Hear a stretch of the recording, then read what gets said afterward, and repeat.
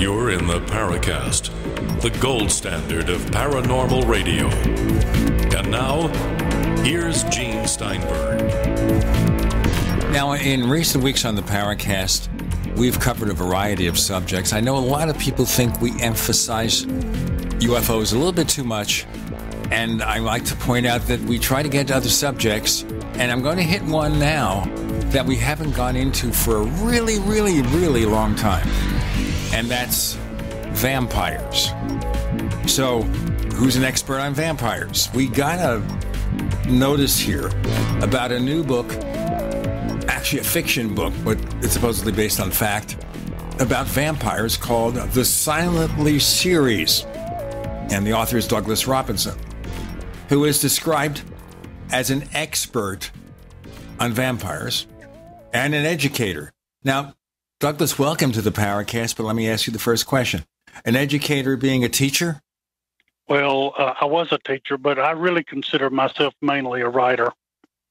So, how did you get interested in the subject of vampires?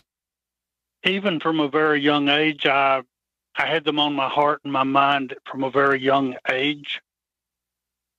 You know, my own past has a lot of um, uh, blood in it. A lot of blood in your path? How so? Well, like for instance, when I was uh, about seven or eight, I started dreaming of myself dying.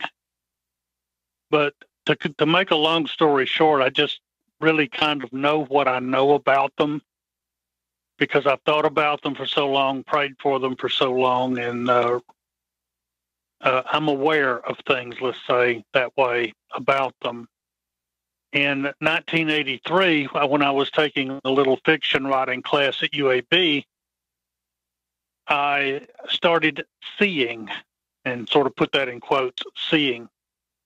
That means it sort of plays like a movie in my head. And during that fiction writing class, you write two little short stories. You know, you learn the basics of writing, like this is a character, this is dialogue, this is a point of view.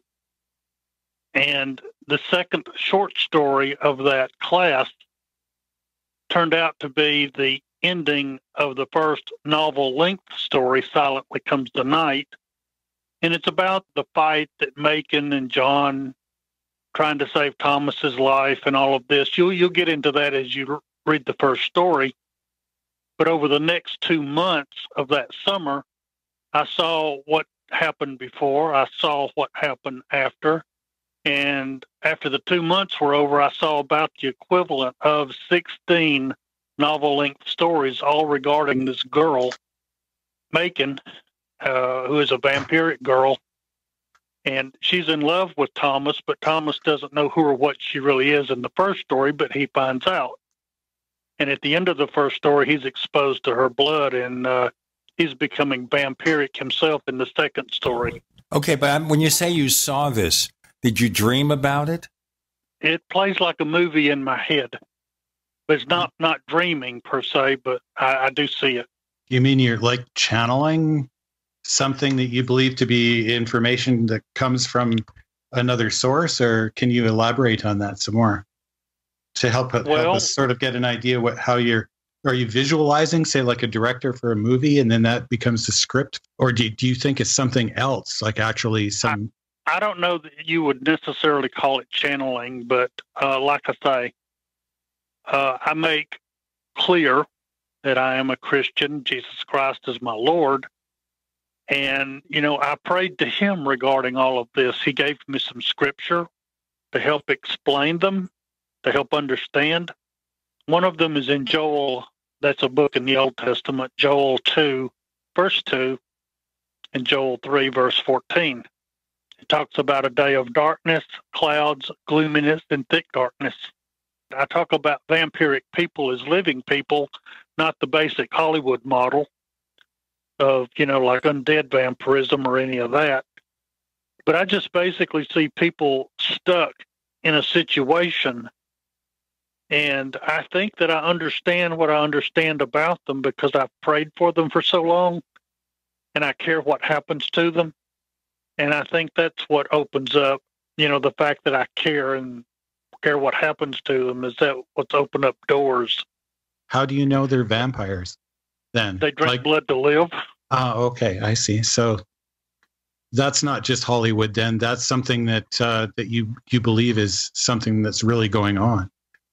Yes. Okay.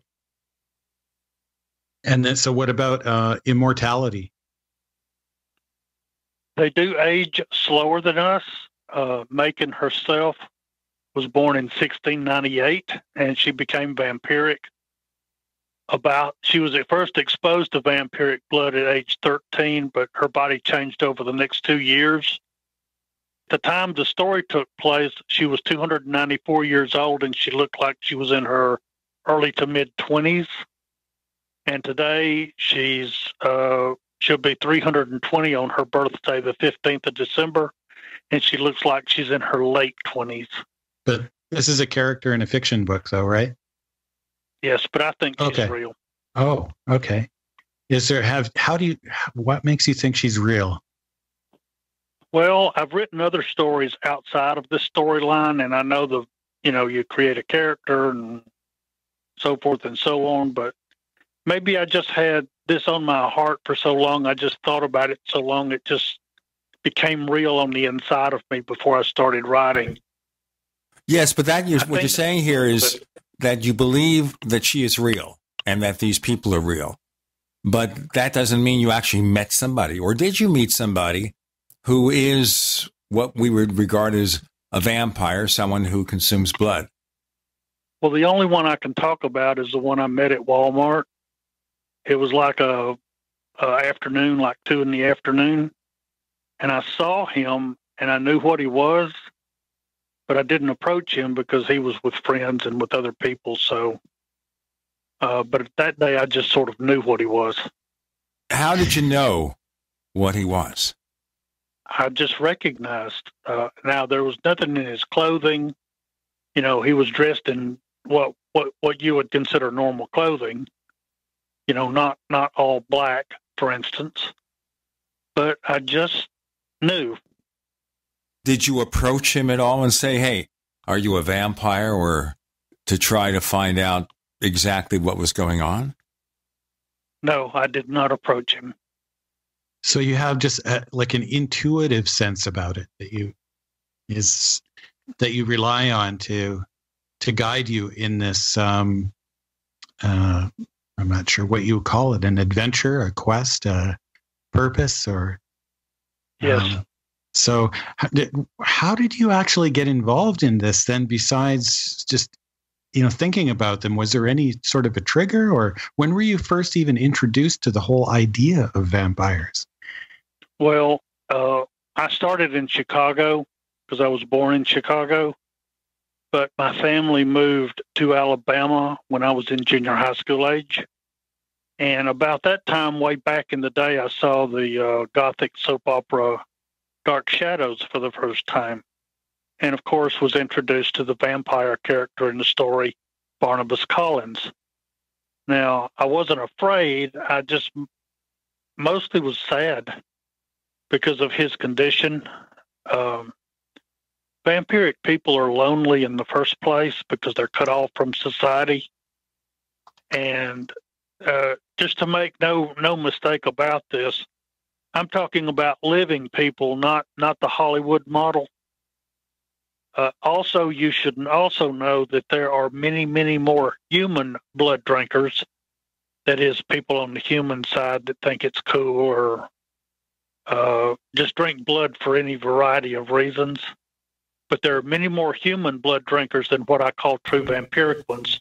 You know what? Let's do our break now because this is getting interesting to put it mildly. We're exploring real life vampires, not the guy with the strange accent. More to come. You're in the Paracast.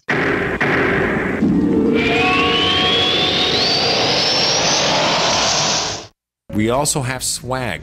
You know, we have all these exclusive Paracast things that you can buy We've got like, I guess, 60 or so different items and entails t shirts, sleeves for notebook computers, iPad cases, mouse pads, the Paracast Jumbo tote bag, all sorts of t shirts and jackets and stuff like that for men and women. We have a Paracast aluminum water bottle. All this stuff, you go to store.theparacast.com, store.theparacast.com. What makes it special is that the items are the best quality, you know, great t shirts, fabrics, and they have our official logo on them. That's what makes them special in multiple sizes and colors. We even have stuff for children, stuff for women, stuff for men. We have all sorts of sizes, like small up to X large. A lot of good stuff. That's the swag from the Paracast. You go to store.theparacast.com, stop by, and take a shopping tour. Let's talk tough. Let's talk comfort. Let's talk about down home value. Made in the USA blue jeans, like you wore as a kid. Remember? There's a place down in Tennessee where they make blue diamond gusset jeans. They so pride in every stitch. Guarantee you love the way they fit. They put a diamond gusset in the crotch where you need it most. Blue diamond gussets got it. For good old fashioned comfort, get Diamond Gusset jeans. Every stitch guaranteed. And our Defender motorcycle jean comes Kevlar reinforced. See them at GUSSET.com, that's gusset.com, or call 888 848 7738. That's 888 848 7738. Diamond Gusset jeans got it. Others don't. Hunters, anglers, campers, and survivalists. Get back to nature. Expand your horizons with the highest quality, most versatile, unique slingshots and sling bows on the market at slingbow.com. Slingbow products are compact and models start from just $17.98. They're perfect for your bug out bag or storing in your vehicle. Give yourself and your loved ones the excitement and tradition of Slingbow, a new frontier in archery and truly modern twist on this primitive survival tool. Feel the thrill only at slingbow.com. Normal blood pressure, naturally. How would that make you feel? I'm Don from New Mexico. Uh, January of 2000, I had a heart attack. Uh, then my real health began going downhill. I had high blood pressure, diabetes, poor vision. I wasn't sleeping well. I was a mess. Don reports dramatic improvements with Heart and Body Extract. I started taking Heart and Body Extract. From within a few days, I started sleeping better. My blood pressure normalized. My diabetes normalized. My sleep improved. Experience these benefits and more when your body heals itself with the assistance of Heart and Body Extract. Order at hbextract.com or call 866 295 5305. That's hbextract.com or call 866 295 5305. And folks, I did not expect this at all. By the seventh, eighth, and ninth day, I saw dramatic improvements from taking Heart and Body Extract. Heart and Body Extract comes with a 100% ironclad money back guarantee. Details at hbextract.com or call 866 295 5305 for Heart and Body Extract. Water is the single most important thing your body needs, so you want to be sure it's the best for you and your family. Since 2005, thousands have depended on Berkey purified water. The Berkey Guy provides the lowest priced filtration systems in every size for incredibly delicious water now and in an emergency. Get to goberkey.com or call 877-886-3653. 877-886-3653. goberkey.com. We'd like to hear from you. If you have a comment or question about the Paracast, send it to news at theparacast.com. That's news at theparacast.com. And don't forget to visit our famous Paracast community forums at forum.theparacast.com. Okay, it's vampires on the Paracast. It's not even Halloween. Douglas Robinson joining us. We're not going to do the Bela Lugosi imitations, but it's kind of funny in retrospect that of all the people who played Dracula in the movies, the Bela Lugosi impersonation or role of Dracula in a 1931 movie and, of course, a Broadway play has become a cultural icon, and poor Bela Lugosi died in poverty. Did you watch Dracula and all these other movies about vampires, or was it mostly Dark Shadows? The first show that I remember seeing was Dark Shadows, and of course, as I was growing up, you know, high school, college, I saw a few more. But since 1983, I've made a point of not really watching other shows or other media or other books because I want to write my storyline with my ideas and not somebody else's. Well, that's a pretty good strategy because uh, it sort of allows all of the experiences that you've had and thoughts about it to percolate and and uh, become something more unique unto yourself.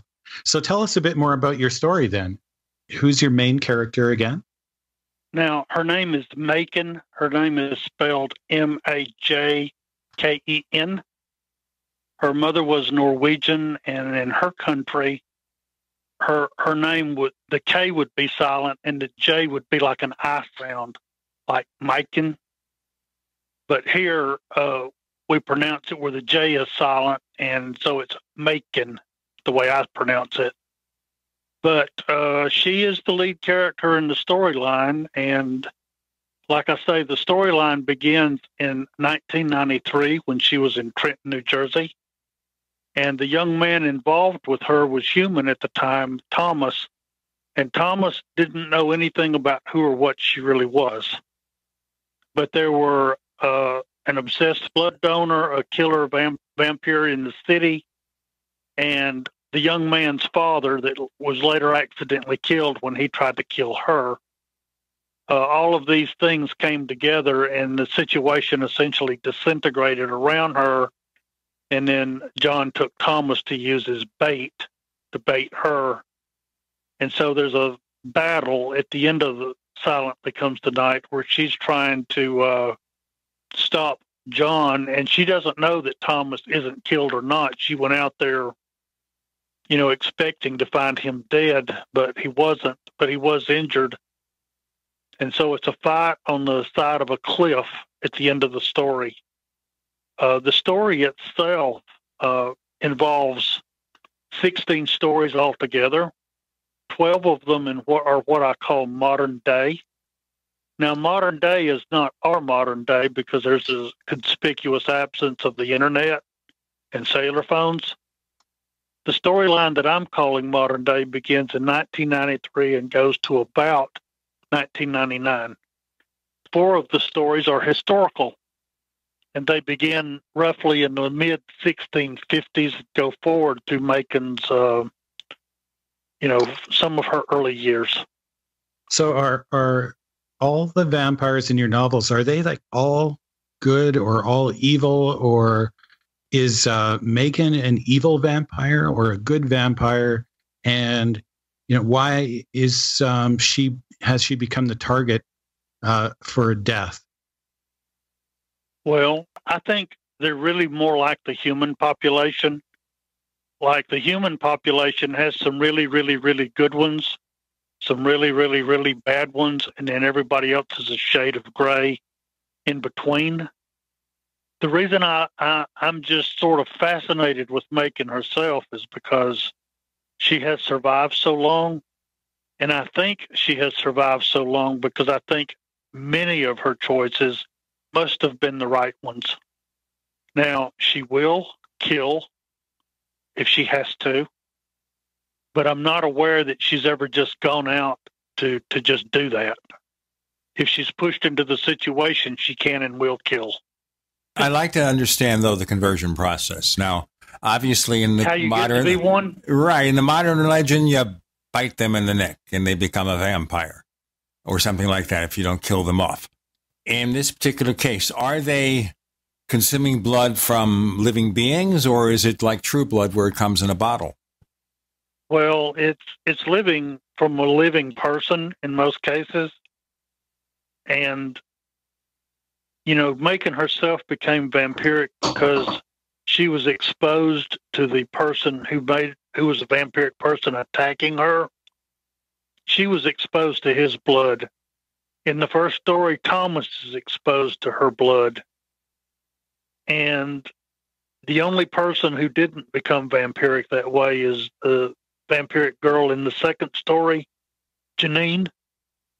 Janine was forced into a situation in a blood cult and she had to drink blood and her body started changing anyway. All right. Well, let me just try to put this all in perspective then. So it's a mixture of blood. And I suppose that doesn't have to be done by biting somebody on the neck. It could just be blood to blood. You can just scratch somebody and you scratch your hand and then you put them together and they are now receiving some of your blood? I think it's probably more exposure than that, I would think.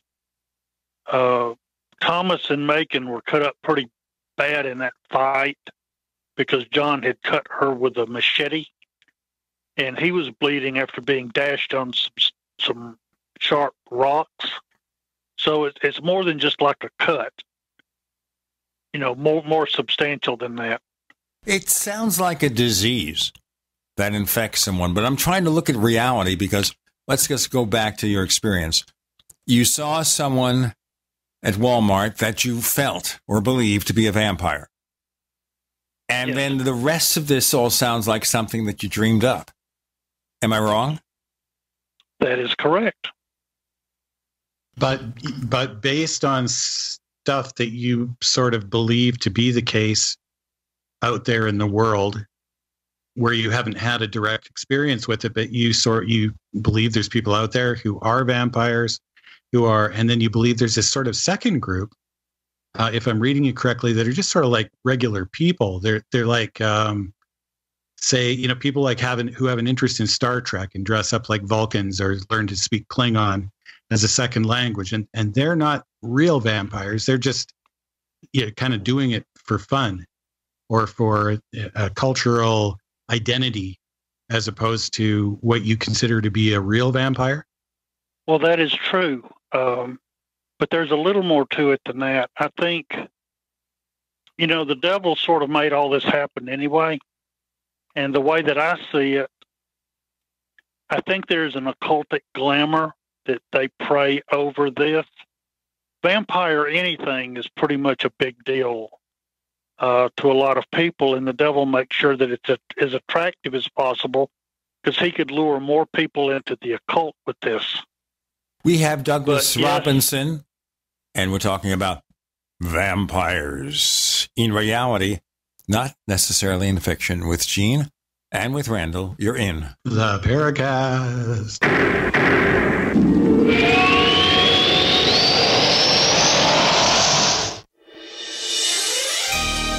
Thank you for listening to GCN. Be sure to visit GCNlive.com today.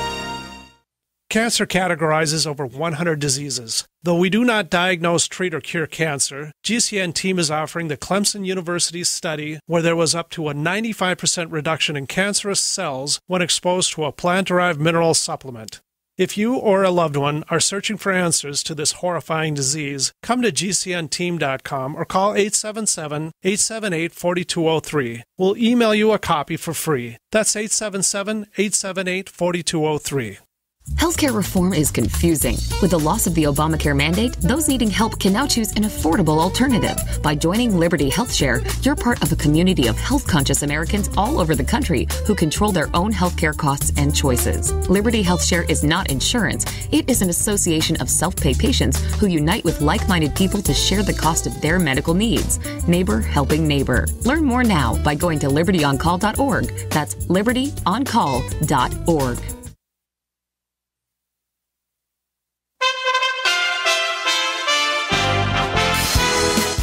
For USA Radio News, I'm Wendy King. Remembering Senator John McCain, the Arizona Senator's office reports he passed away at age 81. Political friends and foes have been praising McCain's achievements and character since yesterday's announcement that he told doctors to stop his treatments for brain cancer. McCain was born to be a military man as the son and grandson of four star admirals. I was raised in the concept and belief that duty, honor, country. His wife, Cindy McCain, tweets, My heart is broken. I am so lucky to have lived the adventure of loving this incredible man for 38 years. President Trump tweeted, My deepest sympathies and respect go out to the family of Senator John McCain. Our hearts and prayers are with you. You're listening to USA Radio News. Hamilton was adopted from a rescue in 2008. He really likes to be around people. I get out my mat and I'm doing a downward dog and he's underneath. He's quite the pug about town. He gets invited to a lot of parties. He knows he's a pretty big deal. Look at this little face. How could you not love him? Hamilton the Pug, Instagram star, and Shelter Pet. Amazing adoption stories start in shelters. Visit theshelterpetproject.org to find a pet near you. Brought to you by Maddie's Fund, the Humane Society of the United States, and the Ad Council. Now you can fly anywhere in the world and pay discount prices on your airline tickets. Book a flight today to London, Paris, Madrid, or anywhere else you want to go and pay a lot less guaranteed. Call the International Travel Department right now at Low Cost Airlines. 800 215 5141. 800 215 5141. That's 800 215 5141. Policies issued by American General Life Insurance Company, Houston, Texas. Not available in all states. For details, visit AIGDirect.com. If you're young and healthy, you don't need life insurance, right? Yeah, that's what I used to think too, until my brother died at 38. Joe left his wife with two kids, a mortgage, and a stack of bills she couldn't pay. Mary had to sell the house and move everybody into this tiny two bedroom apartment just to make ends meet. I never want to do that to my wife, so I got life insurance. I called AIG Direct and was really surprised how affordable it is. Just $14 a month for $250,000 of term life coverage. Listen, if you have a family, you should seriously think about getting life insurance.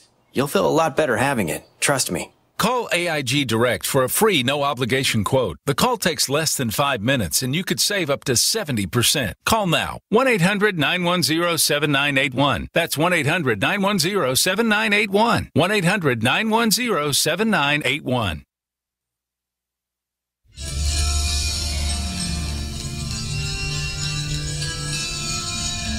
Hi, this is Bryce Zabel. I'm the producer of Dark Skies, the co author of AD After Disclosure, and you are listening to the Paracast, the gold standard of paranormal radio.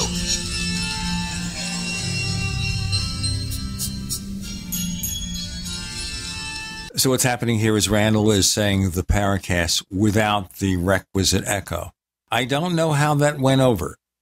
It may have been a lead balloon, but sure as heck went over. Now, as you say, you read very little in terms of vampire stories. You came up with your own, which is certainly an interesting interpretation of the vampire legend.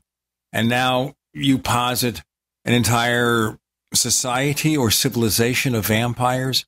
If this exists, if this exists in reality and not just fiction, number one, how do we prove it? Number two, would the authorities know about it? Or are these vampires essentially outlaws who stay under the radar? Well, certainly they stay under the radar as much as they can. Some authorities may know about it, but it's very quiet. I can't really uh, speak to that because I can't say what the authorities know. But in, in larger terms, they are below your threshold. In 2002, I went to a, ret- a religious retreat for the weekend it was called a walk to Emmaus. And for people who may have experienced this, you go away for a weekend. at an international organization, and they just love on you for the weekend.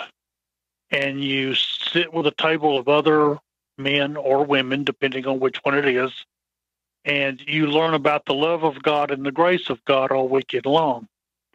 Well, I had a vision my third night and essentially, I'm walking along. It's a darkened landscape. It's all black. It's all burned. It's all dark. And the only light is available from the horizon where the sky is outlined in red, like it's on fire. I hear a distorted sound like a gurgling of water.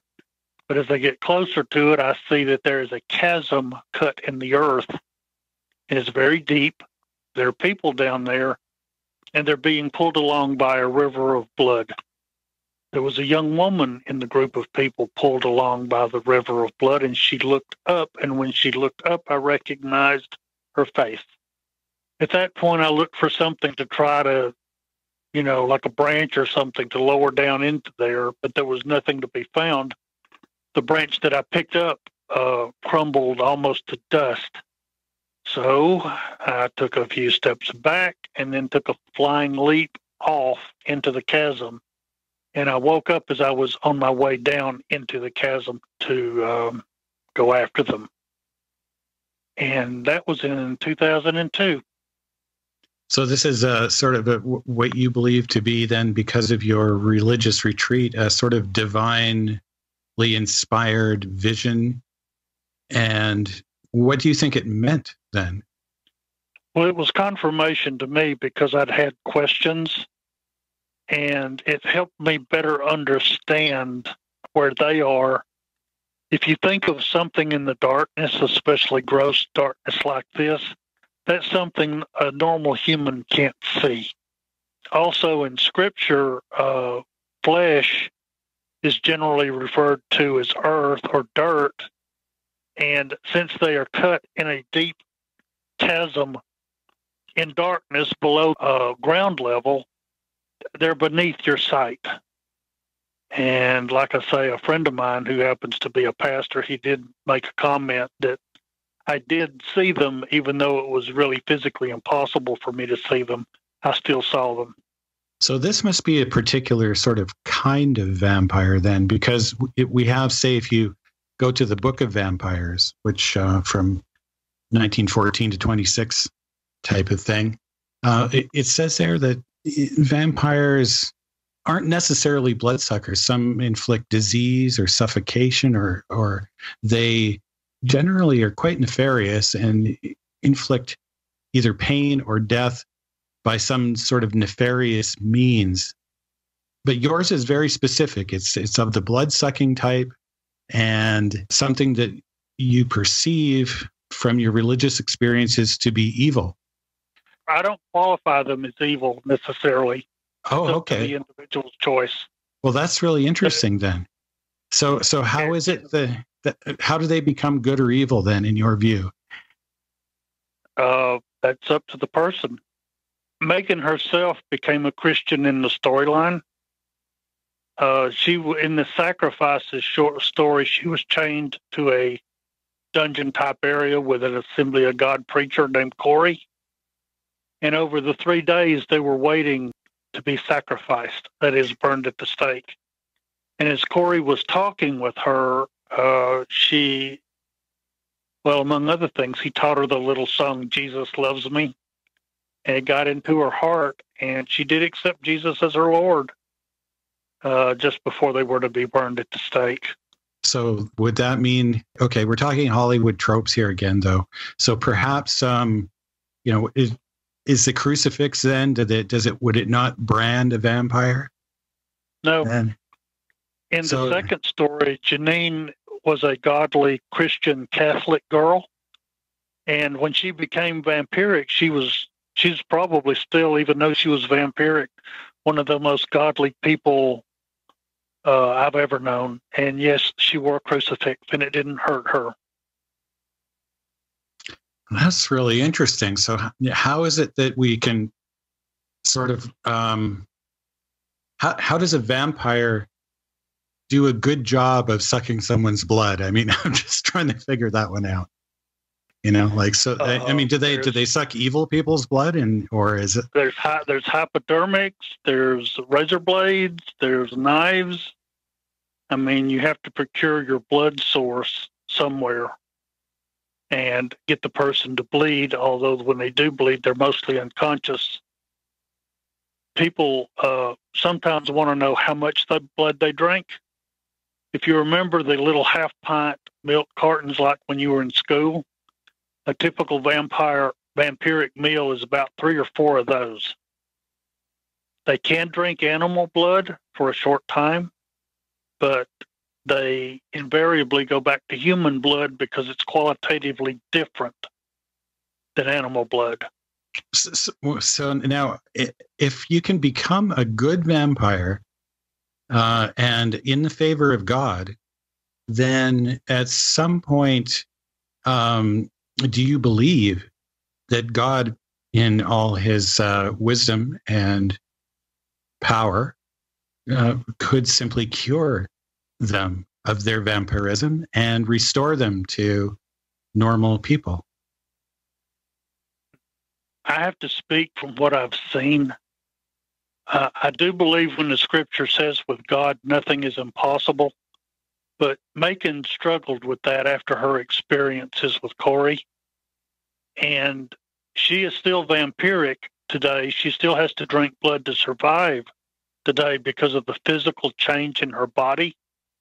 But yes, she is also still a Christian today, and that, that might be a dichotomy that I don't know that the church is ready to accept, but I have to help if the church wants it. Uh, I have to help them understand what these people are like and what their situation is. Uh, I think under most conditions, if they tried to quote get prayed for and healed, the prayer would fail. And Why- the would- saying Why would the God? reason I'm saying the prayer would fail is because the scripture says faith worketh by love, and it's it's highly obvious to the let's say the average church member that they don't love us, and so the faith won't work. Okay, we're focusing here also on religious dogma, which I'd like to cover too and see how it relates to the question of vampires, real vampiric individuals. Ever fascinating. By the way, on the Paracast next week, our first episode for September will feature Calvin Parker, one of the two men who were involved in the Pascagoula, Mississippi abduction case. Fascinating. With Gene and Randall, you're in the Paracast.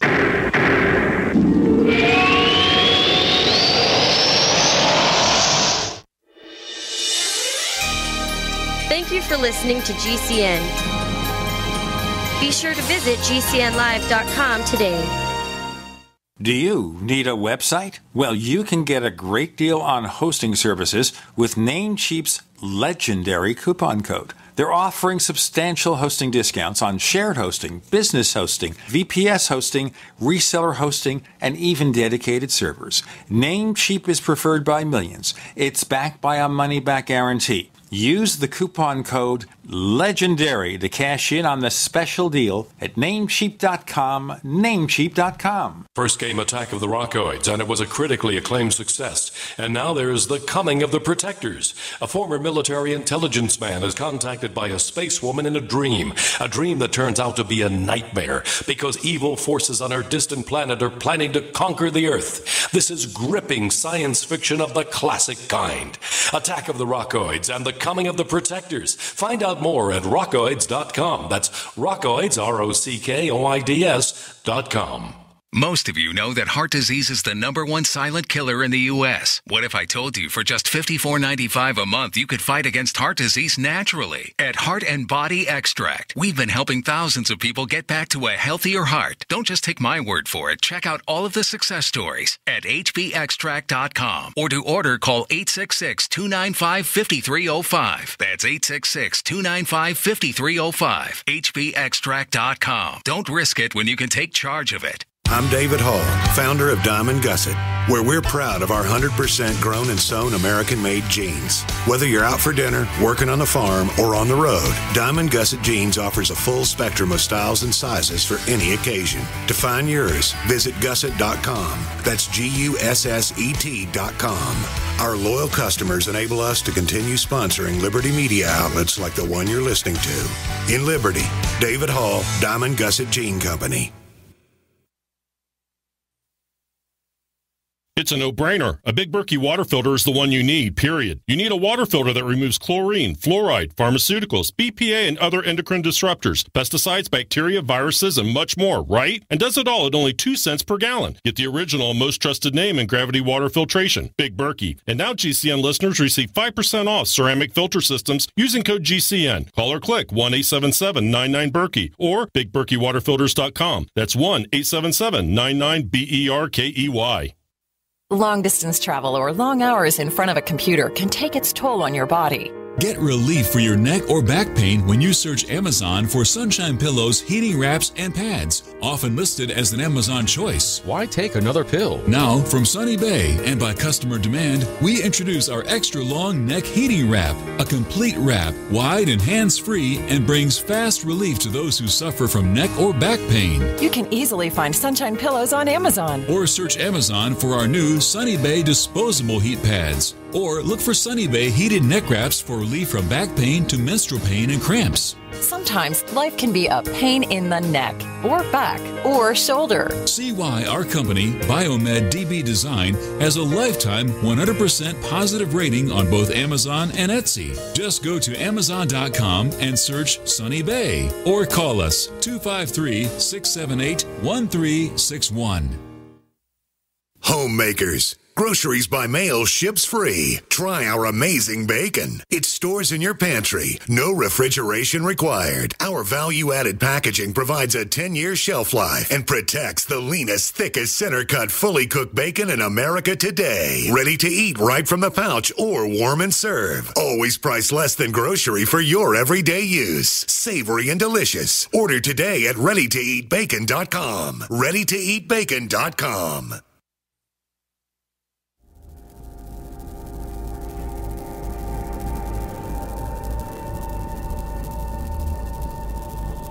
This is Robert Hastings, author of UFOs and Nukes, and you're listening to the Paracast, the gold standard of paranormal radio.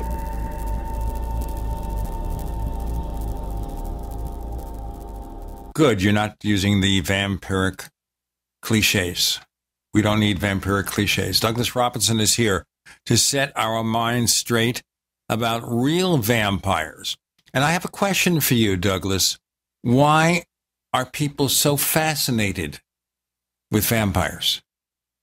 Well, I think the devil makes this his, uh, you know, anything to do with vampire, anything is his number one draw because they're powerful, they're young, they're sexy, they look good, they've got plenty of money, they live forever, on and on and on and on and on. And if you were really vampiric, your life would be just miserable because what it boils down to, if you had to drink blood to live, is the only thing on your mind is I have to drink blood today. I have to drink blood tomorrow. Where am I going to get it? It's like an animal almost. Well, I, I don't want to liken them to a like a shark or to a bear, but yes, they are uh, feral. You are dealing with a physically changed, blood drinking human predator. This is what they are. That can become in the favor of God somehow. How does that happen? Like, how did how do you, how does they go from like, you know, being one of the devil's favorite playthings to becoming in the favor of God? Well, every, everyone has a free will. You know, even the demoniac man uh, with the legion of demons in him wanted Jesus and could make that choice. And any person in their right mind can, in a physical body, can make that choice. So, what kind of choices do they make then, for example? Well, Jesus said, I am the way, the truth, and the life. No man comes to the Father but by me. And he said, because he said, I am the way, that's a choice. Every person has that opportunity to make that choice. So you're saying accept him or not as Lord and Savior. So you're saying that, say, someone like, is this something that um, Majken did? Did she decide to make a conscious choice to follow Christ and therefore hope for some sort of redemption? Well, now, like any person that gets saved, the surety of your salvation comes over time. And it did for her just like it does for anyone else. She, her prayer literally was, Lord, save me. And he did. Now, what are some of the things she did besides pray? Like, did she do some, is she a heroine or is she um, a villain? I think, well, of course, I, I've seen her for a lot longer. If she has to do something, I'm not really sure how to describe her because every person has bad in them. Every person has the potential for doing horrendous things, and I'm sure she does too. But I've never seen it in her behavior or her actions when she had a choice to be anything other than gentle when she can be. Of course, you're talking about a fictional character. She can be anything you want her to be. And we're talking here about Christianity and its relationship Is there such a thing as a Jewish vampire? Is a, there such a thing as a Buddhist vampire? Or possibly a Muslim vampire? I, I can't speak to the other religions. Uh, I'm only aware of Majken and Janine at this point. And you're aware of them strictly as fictional characters, not as real living people. True, until they walk up and say hello. Right. But does um, Majken, what does she do, for example? What is some of the things she does in your story that would, um, say, give the reader a, a, reason to cut her some slack and, and say, oh, well, okay, maybe she's not such a bad vampire after all? Well, especially in the second story, you see Janine in, um, you know, Janine is trying to save a seven year old girl from her own father her father is the leader of the blood cult, one of these wacky humans that thinks drinking blood is a good idea because it'll do something for you. And Janine is doing everything she can to save his daughter, his firstborn, because he decides he wants to sacrifice her. And as soon as Janine learns this, she says, No way. And so she takes Alicia and runs with her. Uh, the story that part of the story took place in Helena, Montana, and by this time Thomas is on the other end of the country in Sumter, South Carolina, going through his change, and Majken herself is sitting in New Orleans, recovering from what happened in Trenton. But when she she decides to go to him and thinking that she can improve his chances for survival, she did love him, and she does love him in the storyline. And that's obvious in her behavior. That's obvious in when she met Thomas's sister, Kimberly. Now, Kimberly is a very naive, she was 16 years old at the time. She had already graduated from school because she was double promoted a year. But Kimberly is very godly herself and very naive and very brilliant which sort of goes into uh, maybe getting her in a little more trouble than she's ready to handle. But you know, when Majken has a choice, and all that I've seen in her, she doesn't. She's not out to just hurt and kill and cause damage.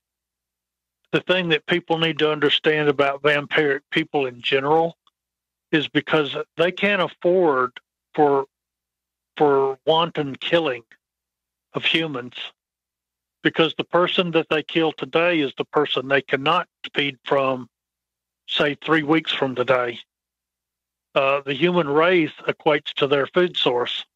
And so they know better than to go just ra- randomly, wantonly killing. Okay, that so makes a hopefully certain, that's an encouragement.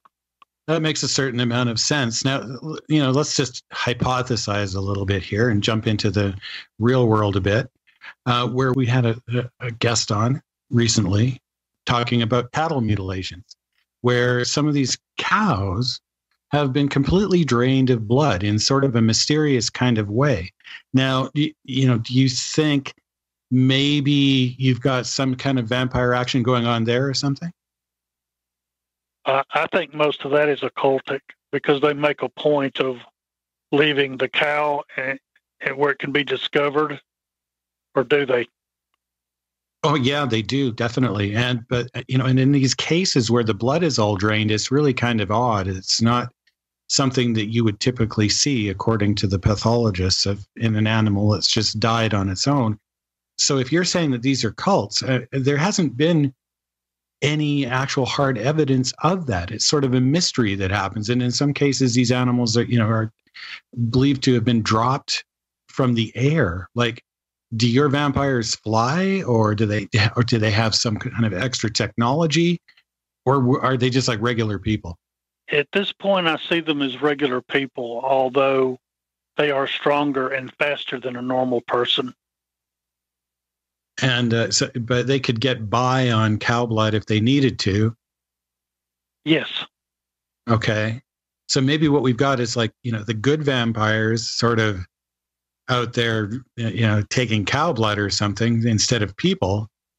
And uh, then the bad ones are the ones that actually go after. So how come we don't have more evidence then of real people coming into hospitals with vampire bite marks or whatever the case is?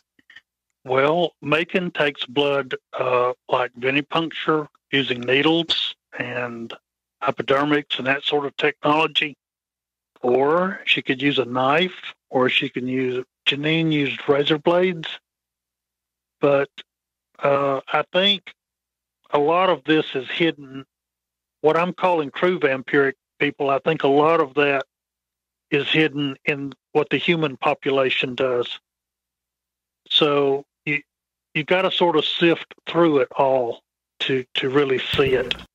Now there are some things there that obviously challenge medical science. It'd be nice maybe to have them look at a vampire and see what there is about this subculture that allows them to live for hundreds of years and age very little, like a Kryptonian or something like that. Well, and now let's talk about that in our next segment, okay? All right? Yes, sir. Uh, right. We're talking about vampires and the work of someone who has explored this society for better or worse. And I won't even begin to try to make a suggestion one way or the other, but certainly something has gone on. We have our co host, J. Randall Murphy. I'm Gene Steinberg. You're in the Paracast. Ah, ah, ah.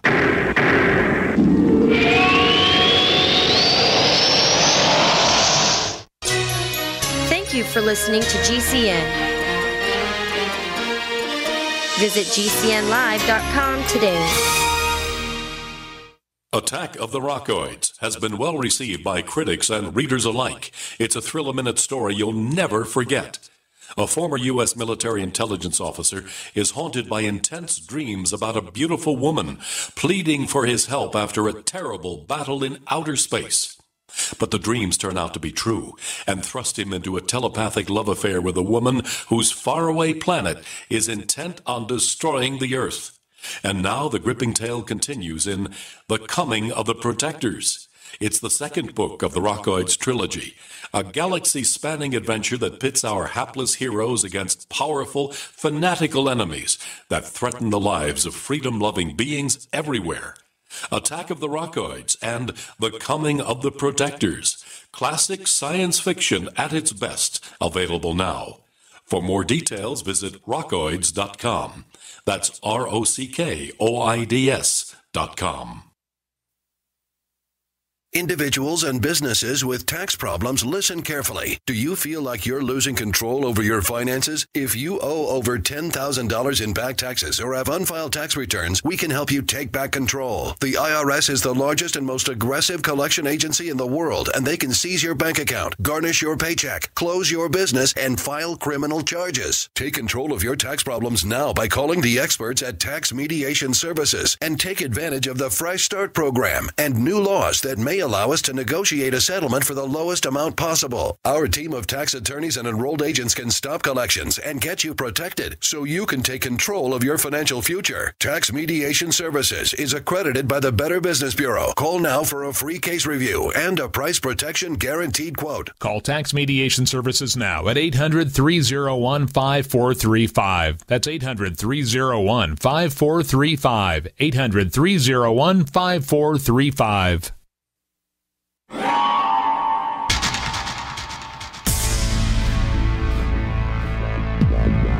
Welcome back to the Paracast, the gold standard of paranormal radio. And now, here's Gene Steinberg.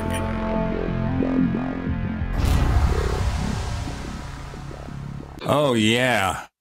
I see that Randall, I don't think he's had a chance to drink the true blood, but something going on there. Douglas Robinson joins us. He has written a book, or a series of books called the Silently series about this subculture involving real vampires. And he believes they're real. It's not just something in a book that he wants to sell a book.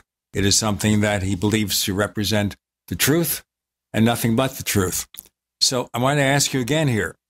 When drinking blood from someone already infected with whatever this is, a virus or whatever, when they drink enough of it or whatever, or consume enough of it or have it mixed with their blood, their lifespan increases from, you know, 70, 80, 90 years to hundreds of years and then some.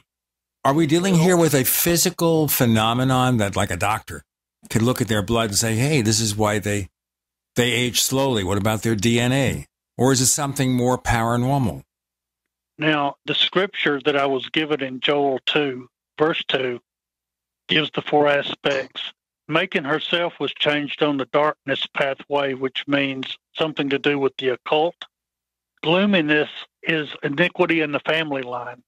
That is, you have a compulsion, like some people have a compulsion to drink or smoke. Well, there's also a compulsion in the family line to drink blood. Majken's friend from New Orleans, Stephen, changed this way.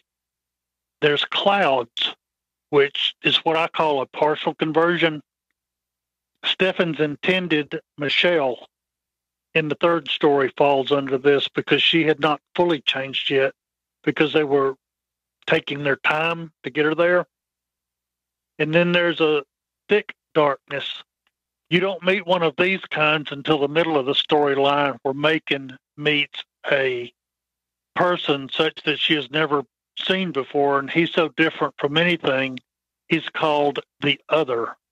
So, out of these four aspects, all the way from clouds to gloominess to darkness to thick darkness, there's the difference in, in the manifestation. Like in Majken's case, it's like 25 years, calendar years for one of her physical years. In Stephen's case, it's more like 15 years for, you know, 15 calendar years for one of his years. In the lowest case, it's more like, you know, like five years for one year, two two to five years for one for one physical year. So all the way up the scale. The reason they don't appear to age in the third story, Majken was actually in an accident and she was kidnapped by these doctors in Odessa, Texas. The third story of the storyline is called With Deadly Intent. As part of this storyline, Majken herself has been captured by these doctors specifically her internist, Dr. Benjamin, is trying to figure out what, what she is because they know that she needs blood, but they're trying to get an understanding of this. Even after they zapped her with an x ray and other things, he did determine that more of her metabolic process was given to maintenance and repair. In his case, he found like 75%, but I think Majken in her native, normal, natural state that percentage is much higher, like around 95%. Blood is a very singular food source. Humans have to eat and drink all kinds of things, you know, like steak, like salads, like vegetables. But a vampiric person that has to survive on blood, it's a very singular food source. So their metabolic process is streamlined, and so much more of their physical metabolism is given to maintenance and repair than a normal person, which is why they don't appear to, quote, age as the years go by. Well, let me ask you another question about the vampire. The other legends, which is during daylight, they have to return to their native soil. That's the Dracula legend. And then if they are not going back to coffins, they still have to stay indoors during the day, and only at night can they emerge among us. Otherwise, they will burn up in the sunlight. Is this anything that's true, or can they just live among us and behave completely normally? Well, Majken has sunlight sensitivity, but it, she won't burn into flames. She'll get sick. Uh, if the devil had all of vampiric people burst into flames when they get into sunlight, all of his uh, work it goes up in flames literally. But if you can make them sick in the sunlight, you can still get them to operate mostly at night, uh, but without the risk of uh, losing your investment. So this is very much involved with God and the devil in what they worship and what they do. But we're looking at the Christian religion. We're not looking at other religions and how that might impact the vampire's journey. Well, like I say, since since I am a Christian, I do believe that uh, when Jesus said, "I am the way, the truth, and the life," no man comes to the Father but by me. I believe that's true. In uh, real life, they've there is such a thing as clinical vampirism. It's it's known as Renfield syndrome, and that is a compulsion to drink blood. However, uh, the medical literature on that doesn't indicate in any way that it actually contributes to longevity. So it seems to me that the whole longevity thing is purely much mythological, although there are people that do drink blood. Like I say, I, I know what I saw, and um, you know, uh, I'm relating to you as I've seen it and I understand it. Most of what I know about vampiric people comes from Majken herself, as I've seen and looked at her. Well, this again sounds very much more like a channeling of a somebody that you believe is a real character somewhere, rather than uh, a character that you've developed for a fictional novel. Mm, uh, I would. I don't know that I would use the word channeling, but there is an awareness there. Yes. Yeah, I, it's um. So how it, it? It's like a are we talking like a form of telepathy then? I think what largely happened when I was around 13 or so, I prayed unto the Lord for them. And at that point, I had got where I saw that they were abandoned and feared and nobody wanted them, but I did. For whatever reason in my in my mind at that time, I, I told the Lord, I prayed, Lord, let me have them. And I think that I know what I know about them because he said yes. So when you say you pray now, uh, people pray in different ways.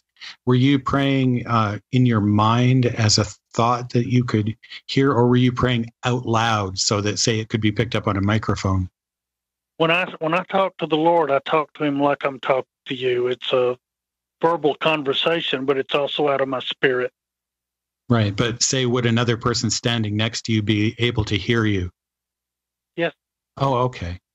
So then, uh, sort of the assumption there would be then that um, uh, if it were Christ you were praying to, that he could actually hear the sound waves uh, and interpret them that way? Or do you think that he's picking up on your actual mental thought, like some sort of telepathic thing that goes beyond mere auditory uh, transmission of sound for communication purposes.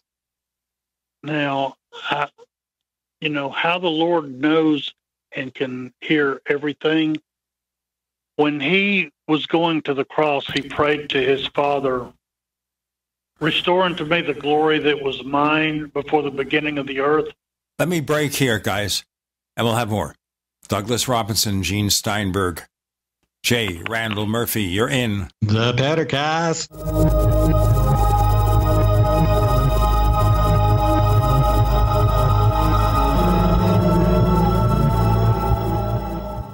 Neighbors, we've made such a deal with HelloFresh, and it means that everyone listening to this show can receive $30 off your first week of deliveries when you go to HelloFresh.com and use the offer code PARACAST30. You know, with HelloFresh, you can choose the delivery day that works best for you. They've got a wide variety of chef curated recipes that change weekly. And can you imagine me cooking Japanese panko chicken? It makes me feel like I'm a chef.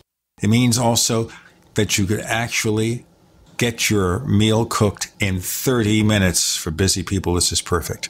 The simple recipes include step by step instructions so even I can figure it out. Go to HelloFresh.com, use the offer code PARACAST30 to get $30 off your first week of deliveries. HelloFresh.com. Let's talk tough. Let's talk comfort. Let's talk about down home value. Made in the USA blue jeans, like you wore as a kid. Remember? There's a place down in Tennessee where they make blue diamond gusset jeans. They so pride in every stitch. Guarantee you love the way they fit. They put a diamond gusset in the crotch Diamond gussets got it. Others don't. For good old fashioned comfort, get Diamond Gusset jeans. Every stitch guaranteed. And our Defender motorcycle jean comes Kevlar reinforced. See them at GUSSET.com. That's gusset.com. Or call 888 848 7738. That's 888 848 7738. Diamond Gusset jeans got it. Others don't. Hi, I'm Dan Pilla. I started fighting the IRS over 40 years ago when they tried to seize my mother's house. I sued the IRS and won. I beat the IRS then, and I've been beating them ever since. I wrote the book on tax debt settlement, and I've helped thousands of people deal with tax problems they thought might never be solved. I can help you too. If you owe taxes you can't pay, don't wait another day. There's no such thing as a hopeless tax case. Call 800-34-NO-TAX or go to my website, danpilla.com. That's danpilla.com, danpilla.com. It's been said, any society is only three missed meals away from chaos. Those times may be near. Think about it. Our country faces multiple terrorist threats and aggressions from Russia and North Korea. Social unrest and violent marches yet again may lead to looting of stores and city shutdowns. And our crumbling infrastructure leaves our power grid vulnerable to long-term outages from a single cyber attack. When the chaos from any one of these threats arises, the government knows it can't provide during a widespread national emergency. That's why you need your own plan for self-reliance. That's where My Patriot Supply comes in. Get a four-week survival food supply for only $99. That includes breakfast, lunches, and dinners. Order online at preparewithgcn.com. 99 bucks for four weeks of survival food that tastes like homemade cooking and lasts up to 25 years from My Patriot Supply. Get your kits today at preparewithgcn.com. Free shipping is included. Preparewithgcn.com. It's a no-brainer. A Big Berkey water filter is the one you need, period. You need a water filter that removes chlorine, fluoride, pharmaceuticals, BPA, and other endocrine disruptors, pesticides, bacteria, viruses, and much more, right? And does it all at only 2 cents per gallon. Get the original most trusted name in gravity water filtration, Big Berkey. And now GCN listeners receive 5% off ceramic filter systems using code GCN. Call or click 1-877-99-BERKEY or BigBerkeyWaterFilters.com. That's 1-877-99-B-E-R-K-E-Y. We'd like to hear from you. If you have a comment or question about the Paracast, send it to news at theparacast.com. That's news at theparacast.com. And don't forget to visit our famous Paracast community forums at forum.theparacast.com. You will not survive, uh, Bela Lugosi.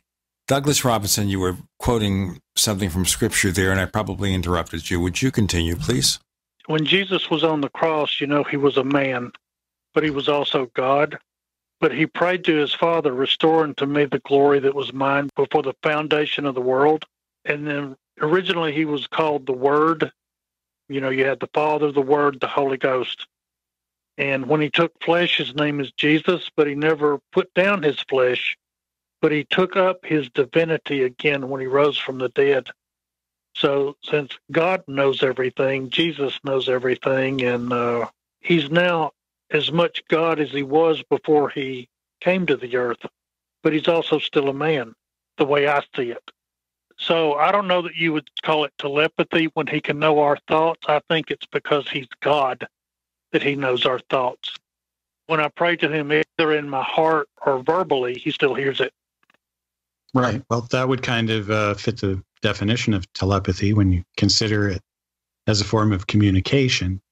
You know, just like if you believe that uh, God created human beings, then by virtue of the fact that we have genetics and DNA, God must have been a genetic engineer because he created us out of that process through exactly those processes. Interesting thought.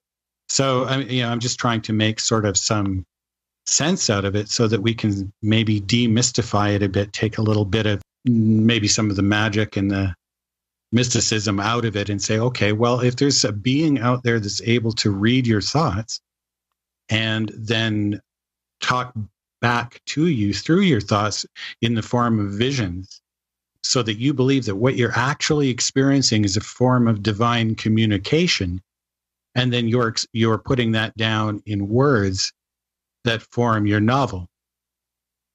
And yes, yeah, so that's really quite interesting. Actually, it's it's. I'm not sure I've ever heard of that way of actually coming up with a particular uh, plot line, but you know, people's creativity works in many ways.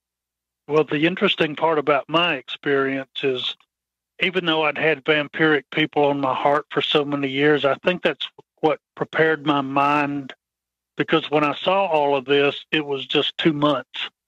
Now, in any, any of the stories, when you open up the front of the story, uh, there's a list of the 16 uh, stories yet to be. Uh, two of them written, 14 of them are not yet written.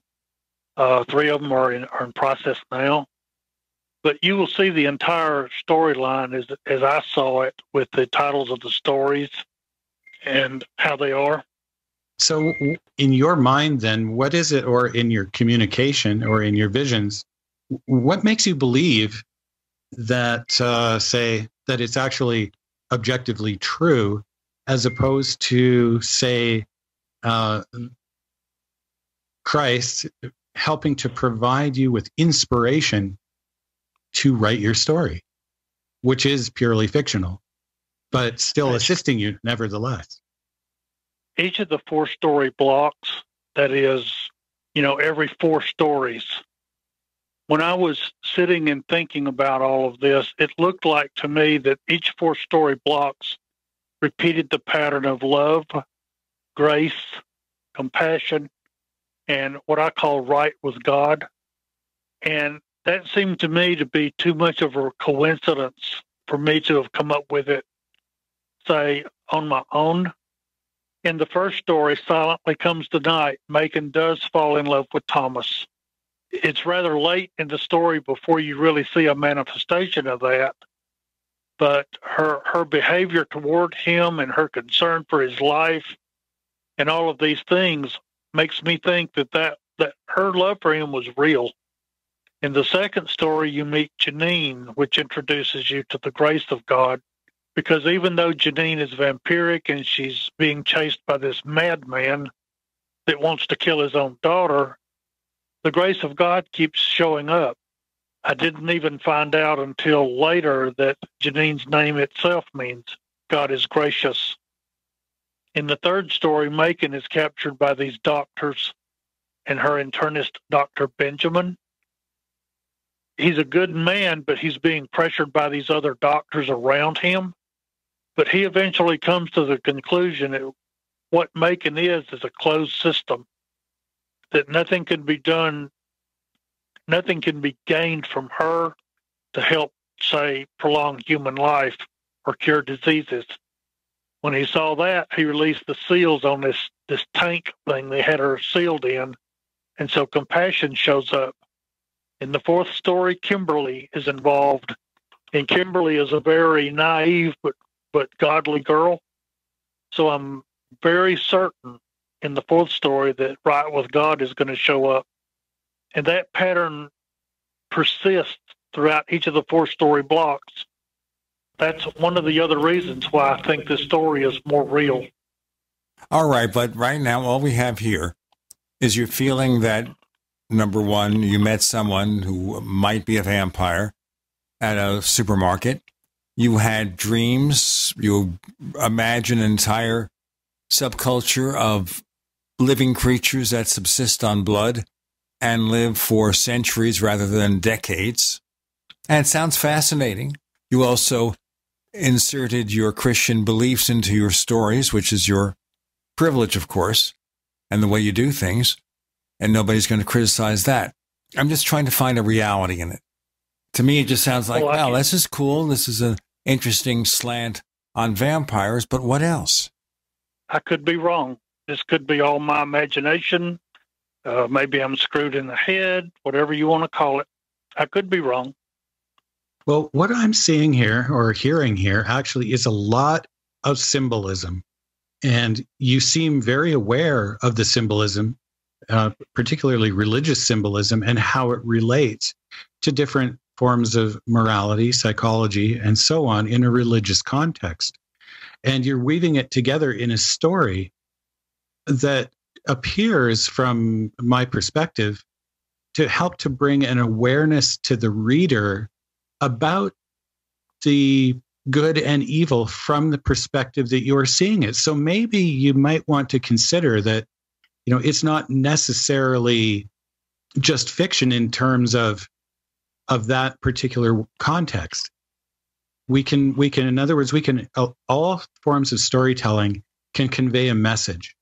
And your message can be in, entirely sincere and real and um, valid within a, a religious, philosophical, theological framework without it necessarily having to, anything to do with, say, real vampires. Maybe it's your calling, so to speak, to write this story to inspire people to think more about these symbolisms that you're describing, because really they, if, if we look at it on that level, they are quite fascinating. Uh, you're very kind. Thank you for that. We've got more to come okay. with Gene and Douglas and Randall, you're in the Paracast.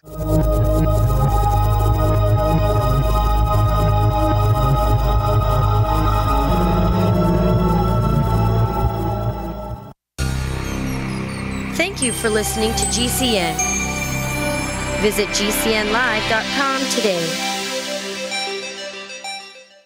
I'm David Hall, founder of Diamond Gusset, where we're proud of our 100% grown and sewn American made jeans. Whether you're out for dinner, working on the farm, or on the road, Diamond Gusset Jeans offers a full spectrum of styles and sizes for any occasion. To find yours, visit gusset.com. That's G U S S E T.com. Our loyal customers enable us to continue sponsoring Liberty media outlets like the one you're listening to. In Liberty, David Hall, Diamond Gusset Jean Company. Most of you know that heart disease is the number one silent killer in the U.S. What if I told you for just $54.95 a month you could fight against heart disease naturally? At Heart and Body Extract, we've been helping thousands of people get back to a healthier heart. Don't just take my word for it. Check out all of the success stories at hbextract.com or to order call 866-295-5305. That's 866-295-5305. hbextract.com. Don't risk it when you can take charge of it.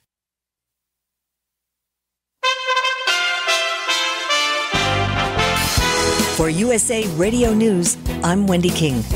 He was a warrior who became a politician and for many, an American hero.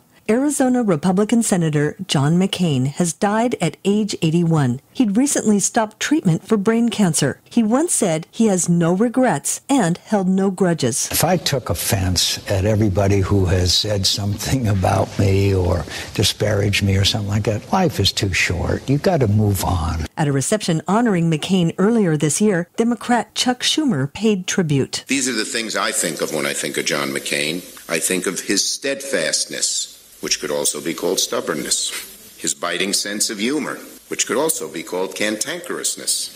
And I think of his principle, his unyielding faith in America's values, which cannot be called any other thing. You're listening to USA Radio News. This is an urgent health notice for all residents suffering from back, neck, knee, and wrist pain. You may qualify for a pain relieving brace at little or no cost to you, but the deadline is fast approaching. Simply call the Health Alert Hotline now. You heard right. You may qualify for a pain relieving back, neck, knee, or wrist brace. These items may even be covered by Medicare or your private insurance. The Health Alert Hotline is your brace company. These specialized braces have been tested for pain relief. Call us toll free right now to determine determine your eligibility and to learn how to use your private insurance or Medicare to minimize your out of pocket cost. Don't wait. If the deadline passes, you may lose your opportunity to get a pain relieving back, neck, knee, or wrist brace at little or no cost to you. 800 296 1261. 800 296 1261. 800 296 1261. That's 800 296 1261. Hey everyone! Proactiv MD has an incredible offer for our radio listeners only. Stay tuned for our exclusive offer that includes a free charcoal pore cleansing brush and free shipping. Proactiv MD with prescription strength adapalene can heal and prevent future breakouts. Today, for just $19.95, we're offering listeners the three-piece Proactiv MD system with free shipping, plus a free gift, the new charcoal pore cleansing brush. Get this exclusive offer by calling now 1-800-583-8662 or go to proactiv.com and enter promo code radio. You heard right. Proactiv MD plus free shipping and a free gift. The new charcoal pore cleansing brush. You'll get all this for just $19.95 and their 60 day money back guarantee. You're guaranteed to get clear and stay clear, or you get your money back. Call now 1 800 583 8662. That's 1 800 583 8662. Or go to proactiv.com and enter promo code radio. Again, go to proactiv.com and enter promo code radio.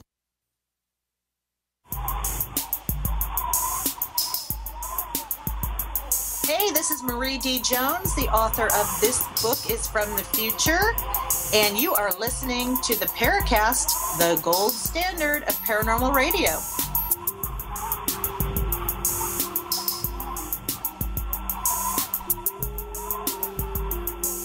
So Randall's playing it straight. Douglas, let's continue because certainly Randall is providing a very good interpretation of the meaning of your book and trying to find more in the stories than just somebody writing a fiction story. Let's go on with that. Certainly. Are you hoping that maybe you might get some interest from people into making this into uh, a media, like you know, film, TV, uh, maybe even a theater production of some type? I've uh, had a number of people say that when they read it, they can see it visually. And so I think the story plays out well visually. And some people uh, have said that they, they, they thought it would make a good movie. Now, I don't have the resources or anything to approach people for that, but uh, some people have suggested that, yes. And uh, so now, what state are your books in now? Are can they be got on Amazon, for example? Yes, the first two books. The first one is Silently Comes the Night. The second one is called Rites of Passage. If you search for my name, Douglas Robinson, there is also another Douglas Robinson who writes. But if you also insert the phrase silently series storyline, you can find my stories on Amazon or Kindle. Okay, so maybe you know what all you need is just to uh, kind of reach that critical mass where you enough people who are interested in your stories, and then you know maybe if you're lucky, you will get approached. Maybe you know if this calling that you're you're set yourself on is really meant to play out that way, it's going to change some people's lives in some hopefully positive way. But do you ever worry yourself that you might get drawn into the whole vampire type of thing? Do you do you have to put up sort of a some kind of a in your mind psychic barriers or safeguards to keep you from getting kind of sucked into the whole vampire thing yourself?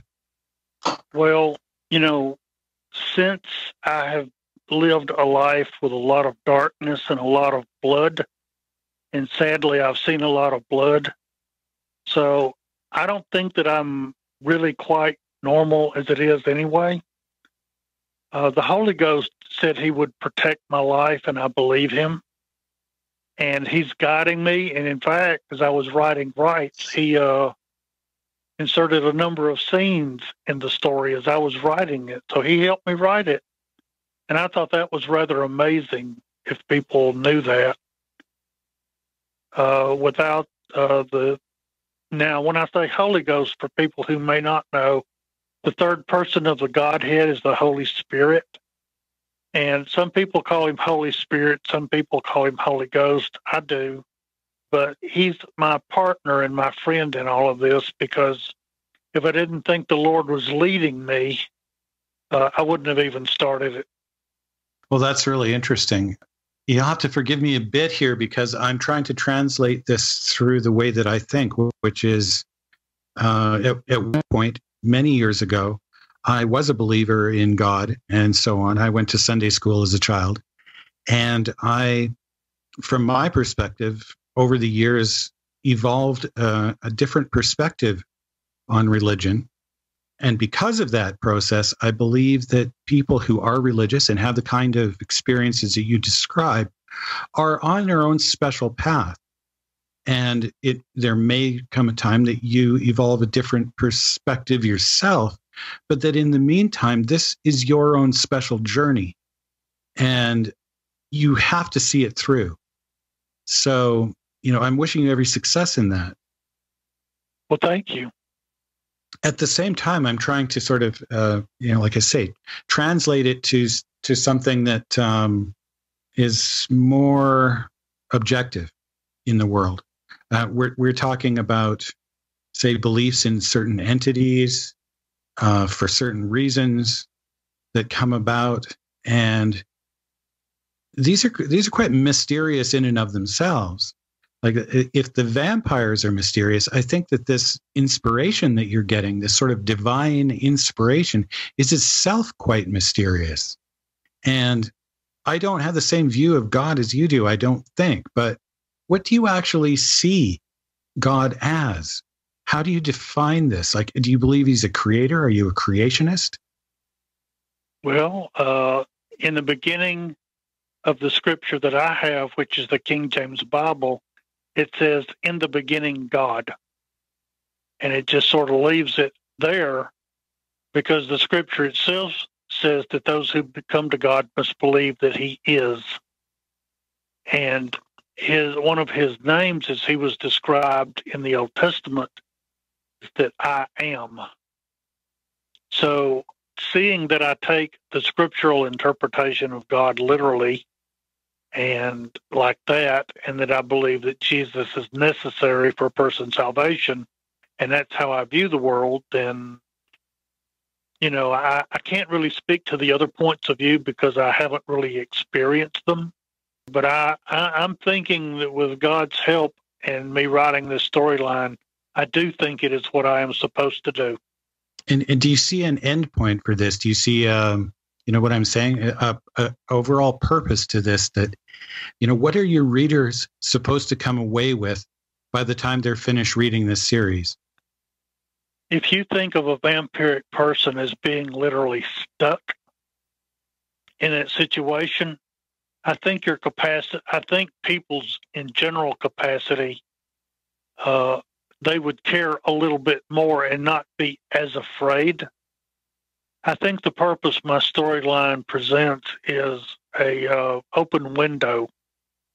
Now, Majken herself describes what she is as looking through a dark window.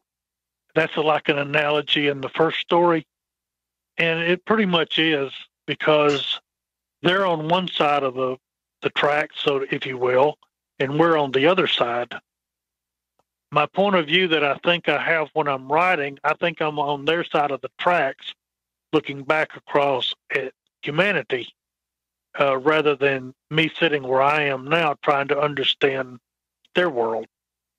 This is a morality tale, obviously. And I wanted to ask you here you have written these books for how long? When did the first volume come out? Uh, I started writing in 1983 uh, silently. The first draft took me three years. I submitted it to a contest and got editorial help. The second draft took me three years. And then for some reason, I just couldn't seem to go any farther.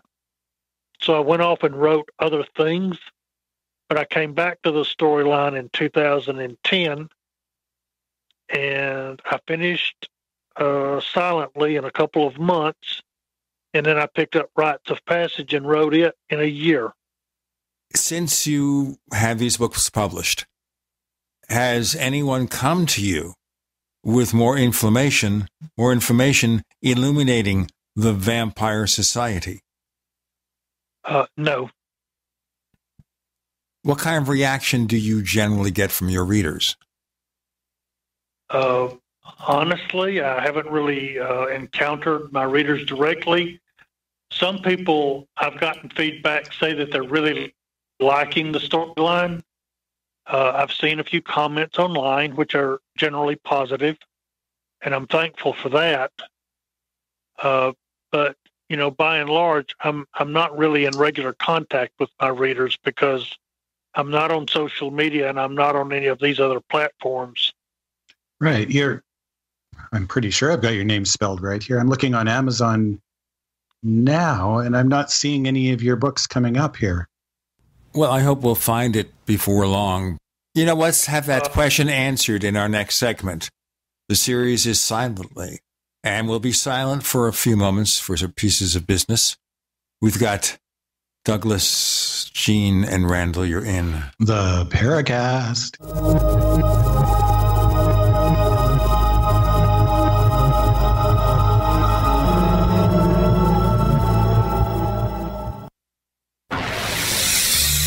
Are listening to GCN.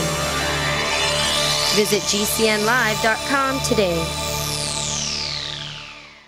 Do you need a website? Well, you can get a great deal on hosting services with Namecheap's legendary coupon code. They're offering substantial hosting discounts on shared hosting, business hosting, VPS hosting, reseller hosting, and even dedicated servers. Namecheap is preferred by millions. It's backed by a money back guarantee. Use the coupon code LEGENDARY to cash in on the special deal at namecheap.com, namecheap.com. First came Attack of the Rockoids, and it was a critically acclaimed success. And now there's The Coming of the Protectors. A former military intelligence man is contacted by a space woman in a dream, a dream that turns out to be a nightmare because evil forces on her distant planet are planning to conquer the Earth. This is gripping science fiction of the classic kind.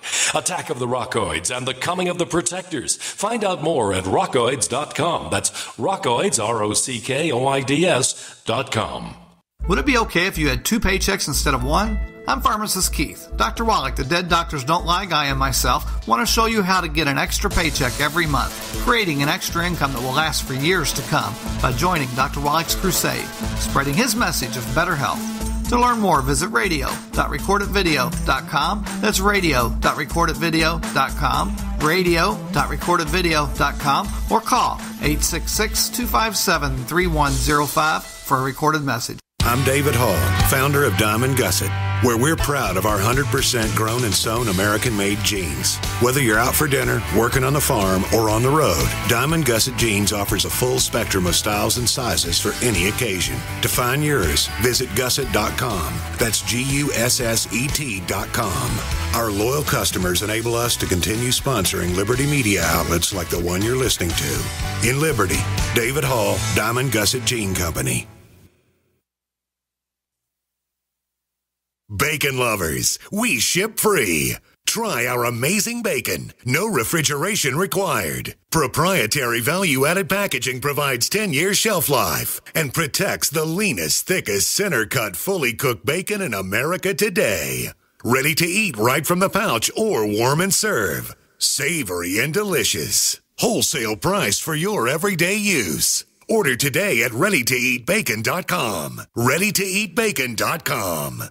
Have you checked your Google search results lately? Search results are usually the first impression that people form of you or your business, so make sure that they create a positive impression with ReputationDefender.com. What the internet says about you can have a big impact on your life and your livelihood, even if it's not true. Fortunately, you can now control how you look online and in online search results with ReputationDefender.com. Call 800 831 0771 now. That's 800 831 0771 for your free reputation analysis. If you have negative material from an ex employee, upset patient, or former client, newspaper article, legal issue, social media, or other source showing up in your search results, you can combat it with ReputationDefender.com. Our dedicated experts in patented technology can help make your online search results look their best. Call 800 831 0771 to learn more. 800 831 0771. That's 800 831 0771. Or visit ReputationDefender.com.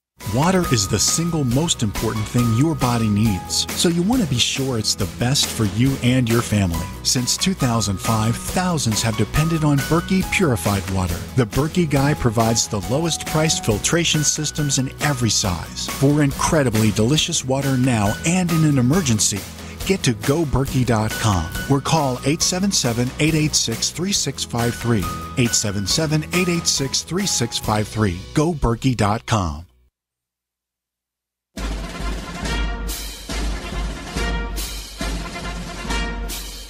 Hi, it's Grant Cameron from PresidentialUFO.com. You're listening to the Paracast, the gold standard of paranormal radio. Okay, Randall, did you succeed in locating the books on Amazon? Well, I'm uh, looking under Douglas Robinson. I'm not seeing anything come up in the way of vampires. There's a, I think we've got one, a translating thing, but probably, let's see, where are we here? Oh, wait a minute. Ah, here we go. Yep. I think uh, you were saying one of them was rites of passage. Yes, sir. Yeah, there we go. Here we go. They're just a little further down the page. That's all. And uh, it looks like uh, one of them's got a four and a half star rating. Well, thank you, Lord. so there we go. Pulled that one out of the fire. Had me worried for a second there, Doug. When you write, then, how does this take place? Do you have a computer or a workstation, or how do you do it? Well, back in the day, the original story was typed, you know, handwritten in a notebook or paper, and then typed on a typewriter back in the day. Uh, lately, I use a word processor in a computer. Do you, so do you have sort of your morning ritual, like, uh, or do you just sort of when the vision strikes you, you just run to the word processor and, and dig right in, or are you on a day job where you've kind of got to remember? How does this work? I, I'm on a day job. I have to work my day job to survive at this point. Right. So, so now you're hit with this uh, vision or this inspiration to write something down. How does that work? When it hits you, do you can it happen at any time while you're at work, while you're away, while you're driving your car, or and then what happens?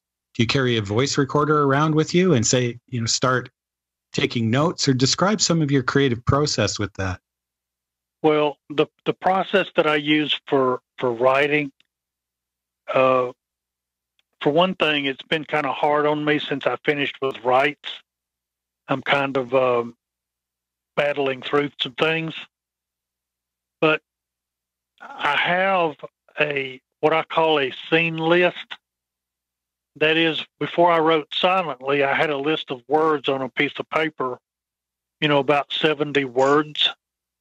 And each of those words represented a scene that I was going to write in the story.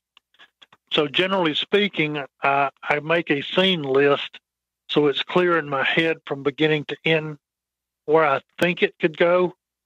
Now, that's not saying that it will necessarily go that way, but I have an overall idea before I start out, and then I look at the, uh, you know, I know the characters well enough. I know the scene. I know the the setting, the description of the area. By the time I get ready to write, all of this is sort of full in my head. So when I pick up and write chapter one, I'm ready to go. And I try to get through the first draft quickly and then after that, it's just a matter of polishing and uh, editing and making sure it's, you know, correct grammar wise. That all uh, sounds like your sort of typical process. That's that's and a good way to go about it too. But I'm kind of more interested in this sort of divine inspiration when you're when you're hit with this vision to it, you know it needs to be this certain way when does that occur while you're writing or is it just at a random time during the day? How when do they happen? Well, like I say, I've had further inspiration since I started picking up the storyline again, but pretty much I'm trying to stay uh, true to what I saw the first time uh, back in 1983. You mentioned before that you have a day job. What is it? Yeah, I'm a programmer for consumer products or for business products? Uh, I work at a manufacturing plant.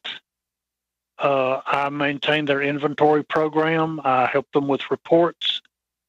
Uh, I am an access programmer. I can do almost anything you can do with data with access. So you're pretty good with visual then? Visual Basic, C++? Uh, visual Basic 6, which is very uh, old school. Right. Okay. So you do this in the evening. You have a family? Uh, I, at this point, I do not have a family, but I'm hopeful. Okay. We all hope for a good family association. I was thinking here whether your family members have commented on your books, on your exploits in writing these titles. Uh, my father died in 1983. My mother died in 2004. Um, I have no brothers and sisters. Sounds like a lonely existence. Well, in, in some ways, I can relate to how lonely they feel. Uh, but like I say, I trust in the Lord and I'm hopeful for my future. Well, if you don't mind us digging a little bit, you've mentioned a couple of times that you've had a lot of blood in your past. And what I'm, can you elaborate on that a bit and, and describe what you mean by that? Well, one instance I clearly remember is uh, I remember walking into my bedroom and I can see blood dripping from the floor to the ceiling uh, visually. And I sort of closed my eyes and prayed. And I said, We don't do this anymore. Then I opened my eyes again, and it was a normal bedroom. I think it was just dark impressions on my very young mind made an impression on me. The other reason that I think that I'm not like a normal person is that when you see a person drink blood, invariably a human would have some sort of reaction to that. Yeah, it negative usually. same day. Well, it it I'm told it's a very substantial reaction, but I don't know what that is because I never had it. You so you don't think, mm, you know, I can. You can hardly wait to get your, you know, straw. I'm in, sure it's. in T- I'm sure it's tasty, but what I'm talking about is when when you're literally seeing someone drink blood, a human has a reaction. That's so I'm told. Well, but I mean, how many people have actually seen that in real life? We're all talking about theater for the most part. Uh, I mean, there are certain groups of people that do this, we know about them. They're small, sort of cult like uh, culture, subculture, like a vampire subculture where they do this. But, uh, you know, I don't think there's very many people that do it. Uh, that, you know, I, I think there are, but like I say, that's just my opinion. One thing that kind of bothers me about all this is not that you wrote what sounds like a real fascinating story. I'd like to read some of these novels. We hadn't had a chance from booking the show. We wanted to have you flesh it out. Is that if there was anything like this in the real world, someone somewhere would reach out to you and say, Douglas, I'm a vampire. Let's talk. It surprises me that having had these books in circulation for a while, this has yet to happen, or maybe you're reaching the wrong people. Uh, like I say, uh, I'm not afraid of them. And so if they do want to come up and say hi, I'm okay with that. Have you done, uh, you know, book readings at say, uh, what are your bookstores down there, Barnes and Nobles, or I'm, I'm, not sure. We have up here something called an Indigo, for example, where uh, authors that write books they'll set up a table, and sometimes they'll have actual readings take place and sign books. Have you ever done a book signing? Uh, no, I, I didn't think that I had enough friends uh, for that. I jokingly say all three people that would show up, I've already given them a book anyway. well, it might be something you want to try if because some of these evenings, uh, people have they have their own little table and you know, maybe nobody will stop by and but and pick up pick up a book, or maybe several people will. But either way, you just kind of hang out, and there's other people you can meet, and uh, chances are, with the popularity of the genre, you would probably attract some people to talk to you about your work. This also reminds me of a situation here where my son and I wrote a science fiction novel. And the first novel was published by our agent. And we had this bunch of books to distribute. We actually personally distributed those books to Barnes and Noble in Scottsdale, Arizona. And we scheduled a book signing. And it wasn't like hundreds of people, maybe it was dozens of people. But they came over, they met us, they apparently enjoyed the book. We talked to a lot of people. We had a fun time. And I'm thinking here if you went with your book to one or more of your local stores where you live and talk to the store owners or management, you could probably arrange something here and maybe meet some people and see what's going on. Maybe even think about getting on those social networks, even though you may not like it. We've got Douglas, Gene, and Randall. You're in the Paracast.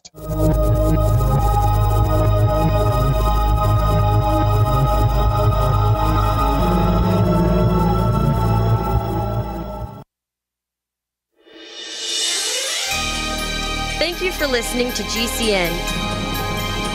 Be sure to visit GCNlive.com today. We also have swag.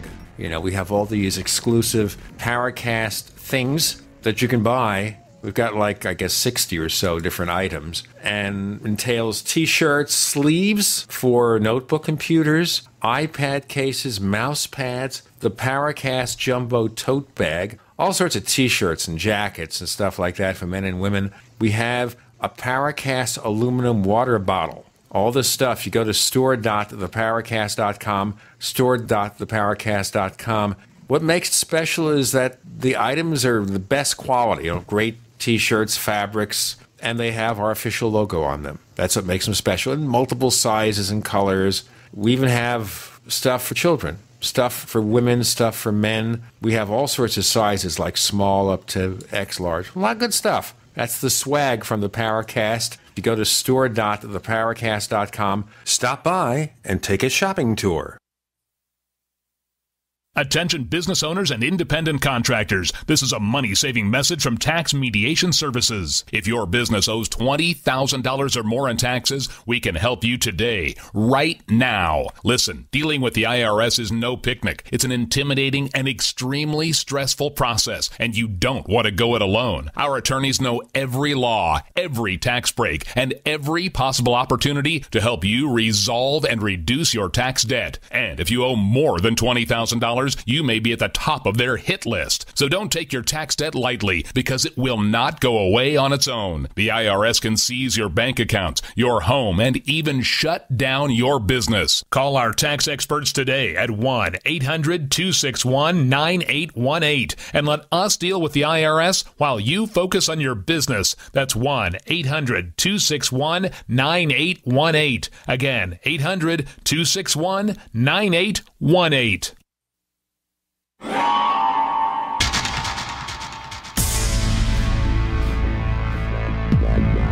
Welcome back to the Paracast, the gold standard of paranormal radio.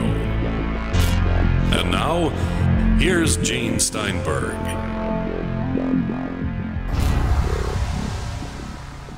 So Randall Murphy is lost in his echo chamber. Sounds like a bubble. You're in your bubble. Douglas, let's continue here. So maybe I'm giving you an idea here. What are you doing now to promote your book? Obviously, we got a press release, which is why we decided to contact you. Beyond that, are you going on a number of radio and TV stations to talk about this?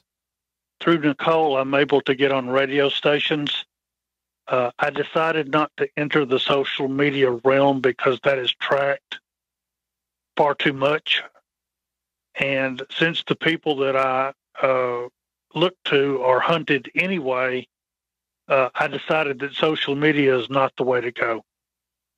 Now, I have been in bookstores. Uh, I uh, work with writers groups and I meet with different writers, but my stories themselves are not priced at the point where I can afford for a brick and mortar bookstore like Barnes and Noble or Books a Million to take, you know, 50% of the cover price as their take on it. I don't uh, I can't produce the books for the amount that would be like a mass market paperback. Uh, they're produced as trade paperback and library editions on Amazon, and that was the best that I could do for distribution. Uh, and they're priced accordingly because they're uh, printed on demand. I want to be the one to talk to you about this, but I just discovered something. You have this website, silently-publishing.company. Yes. Etc. And when you go to the site, this is your site, right? Yes, it is. Okay. So if I click on the link to Silently Comes the Night on your homepage, it goes to a 404 error, meaning that it's pointing to an incorrect page, incorrect URL. And I think more than anything else, you ought to fix that. Yes, like I'll, I'll call the company that hosts it, see what I could do. Okay. So if you need any you assistance, let me know.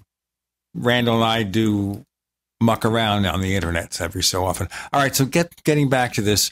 I understand your concerns about online privacy and why you don't want to get involved.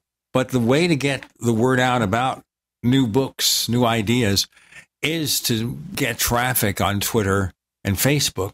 If you're careful, real careful, you can do it in a way that doesn't seriously compromise your privacy.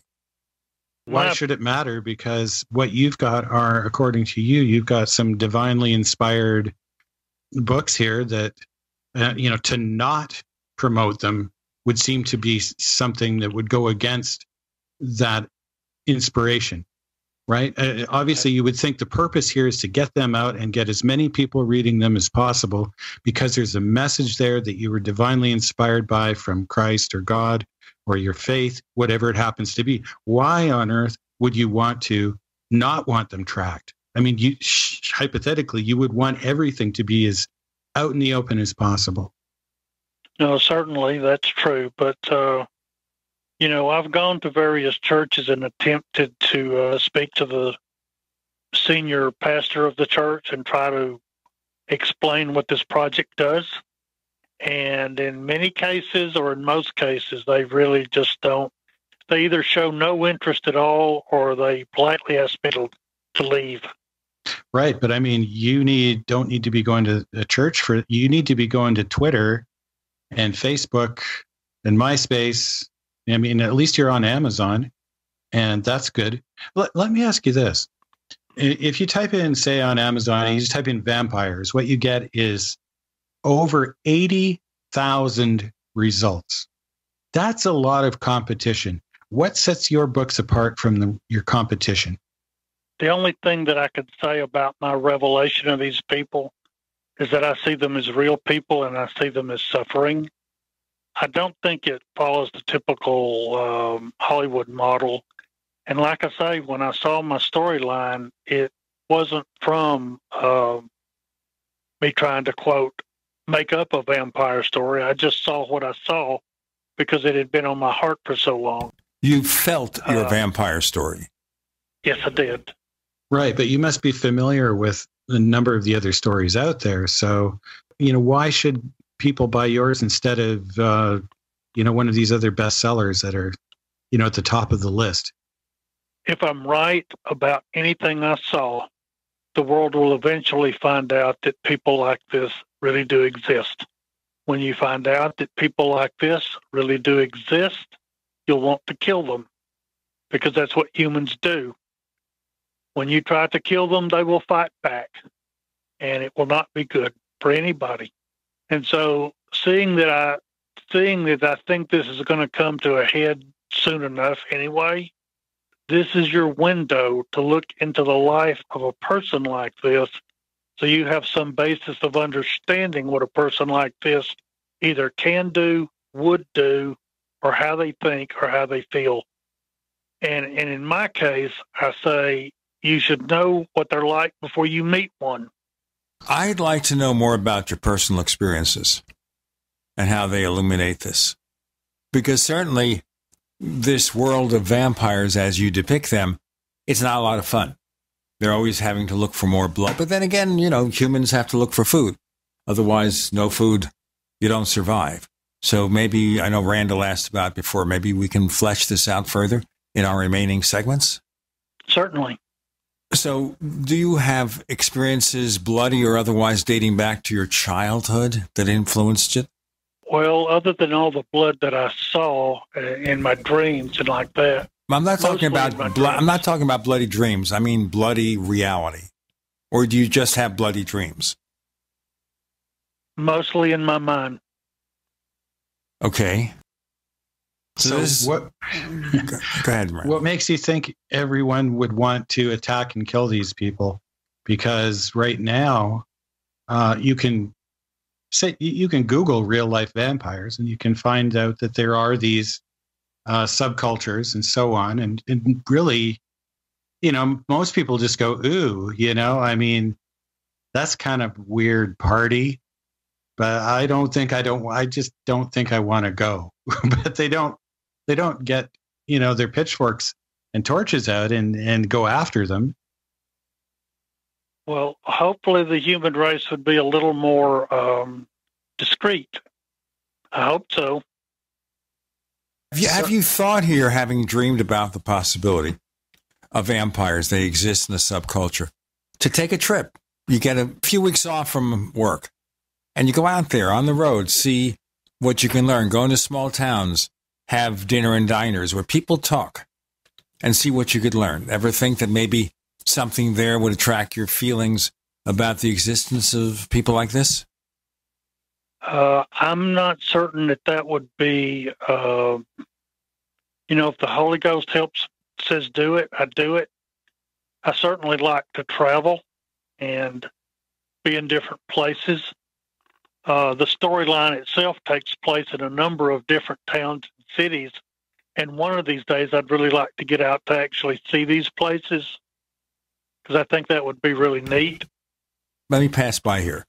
The cities in which these novels are set. Have you ever visited any of them, or did you just do online research or something to say, well, this is Piedmont, Alabama, and this is how it is? Uh, the story began in uh, Trenton, New Jersey. I have not been to Trenton. Uh, I have been to Odessa, Texas. I have been to Helena, Montana. And of course, I'm familiar with Chicago since I'm from there, although I haven't been up there in years. Uh, it, you know, the other places I haven't been to yet, but that's, you know, certainly something I might try at some point. Of course, it also may be a lot of fun to do all that kind of research in writing a book, if you can afford it, if there's a big, well, advance. But if you do it yourself, I recognize it's not always easy to get to the places you want. You know what? Let's talk more about this in our next segment with Gene, Douglas, and Randall. You're in the Paracast.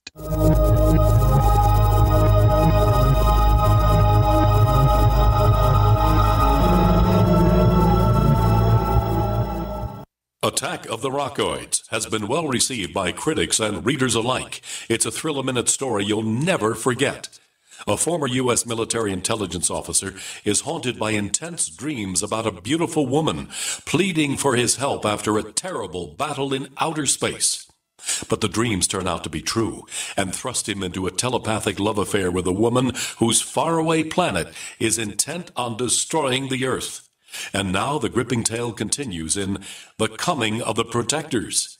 It's the second book of the Rockoids trilogy, a galaxy spanning adventure that pits our hapless heroes against powerful, fanatical enemies that threaten the lives of freedom loving beings everywhere.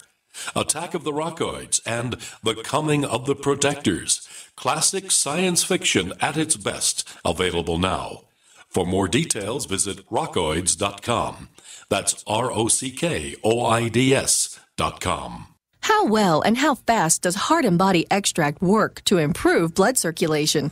Listen. My name is Ellis, and I am 66 years old, and I live in Jacksonville, Florida. Two years ago, I was diagnosed as having clogged arteries. I had 70% blockage in one artery leading to my heart. They wanted me to go on Plavix, but I refused, knowing the negative side effects. Heart and Body Extract is a unique balance, synergy, and proportion of herbs reaching from head to toe at maximum absorption around 95% at the cellular level. Within the first month, I felt a dramatic difference. The heaviness in my legs was reduced, and within two months, I felt completely normal. Your natural organic herbal formula for heart health is Heart and Body Extract. Heart and Body Extract comes with a 100% ironclad money back guarantee. Details at hbextract.com or call 866 295 5305 for Heart and Body Extract. Call 866 295 5305. 866 295 5305 for Heart and Body Extract. Healthcare reform is confusing, but whether it's finding an affordable insurance plan, keeping your doctor, or being able to afford needed prescriptions, navigating the healthcare system has become a challenge. Control your own healthcare costs and choices with Liberty Health Share. Liberty Health Share is not insurance, it is an association of self pay patients who unite with like minded people to share the cost of each other's medical needs. Neighbor helping neighbor. Learn more now by going to libertyoncall.org. That's libertyoncall.org. It's been said any society is only three missed meals away from chaos. Those times may be near. Think about it. Our country faces multiple terrorist threats and aggressions from Russia and North Korea. Social unrest and violent marches yet again may lead to looting of stores and city shutdowns. And our crumbling infrastructure leaves our power grid vulnerable to long term outages from a single cyber attack. When the chaos from any one of these threats arises, the government knows it can't provide during a widespread national emergency. That's why you need your own plan for self reliance. That's where My Patriot Supply comes in. Get a four week survival food supply for only $99. That includes breakfast, lunches, and dinners. Order online at preparewithgcn.com. 99 bucks for four weeks of survival food that tastes like homemade cooking and lasts up to 25 years from My Patriot Supply. Get your kits today at preparewithgcn.com. Free shipping is included. Preparewithgcn.com. This is Fred. Uh, hi, I'm Fred. Fred's a repeater. I tend to repeat. Fred has a business. I do have a business. And a problem. Fred repeats the same tired advertising over and over, and now it doesn't work. Over and over. But Fred is about to see a vision. I'm seeing a vision. Advertising on the Genesis Communications Network is the smart way for Fred to reach his potential customers with the most affordable national advertising rates, period. Get started today with GCN, the Genesis Communications Network. Just email advertise at gcnlive.com. We'd like to hear from you. If you have a comment or question about the Paracast, send it to news at theparacast.com. That's news at theparacast.com. And don't forget to visit our famous Paracast community forums at forum.theparacast.com.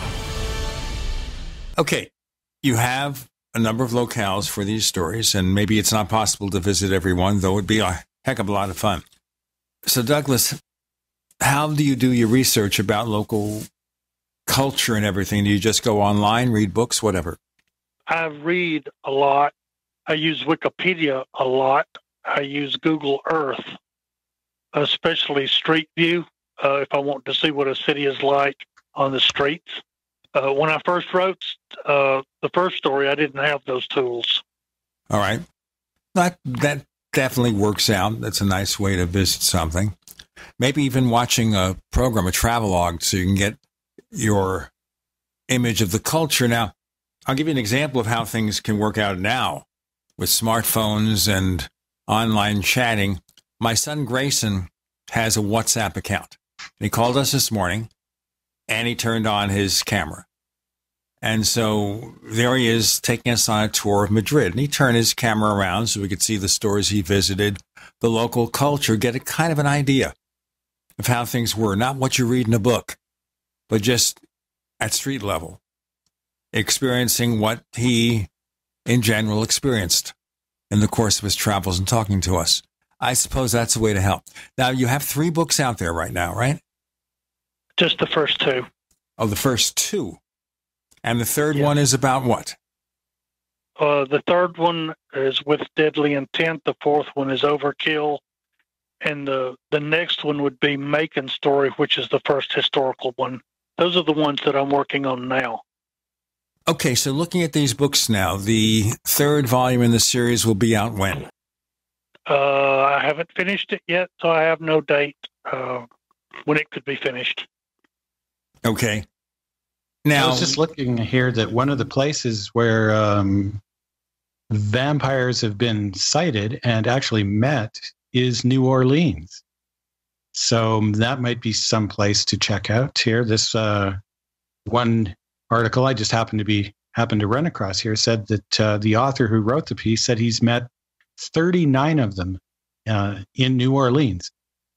Yes, uh, New Orleans seems to attract them. Um, a few summers ago, I was in New Orleans. It was a wonderful trip. Did you get to explore around uh, where the you know these the shadows where they might be hanging out, or how long were you there? There were some there were some specific things I wanted to see when I was there, and I did see them. Uh, but it was a rather quick trip. I didn't have time for um, more lengthy visit. Not that time, but maybe I'll go back and soon sometime. Uh, but I don't know when. Have you heard of psychic vampires? Yes. Can you? Uh, what do you think of those? Can you talk a bit about that?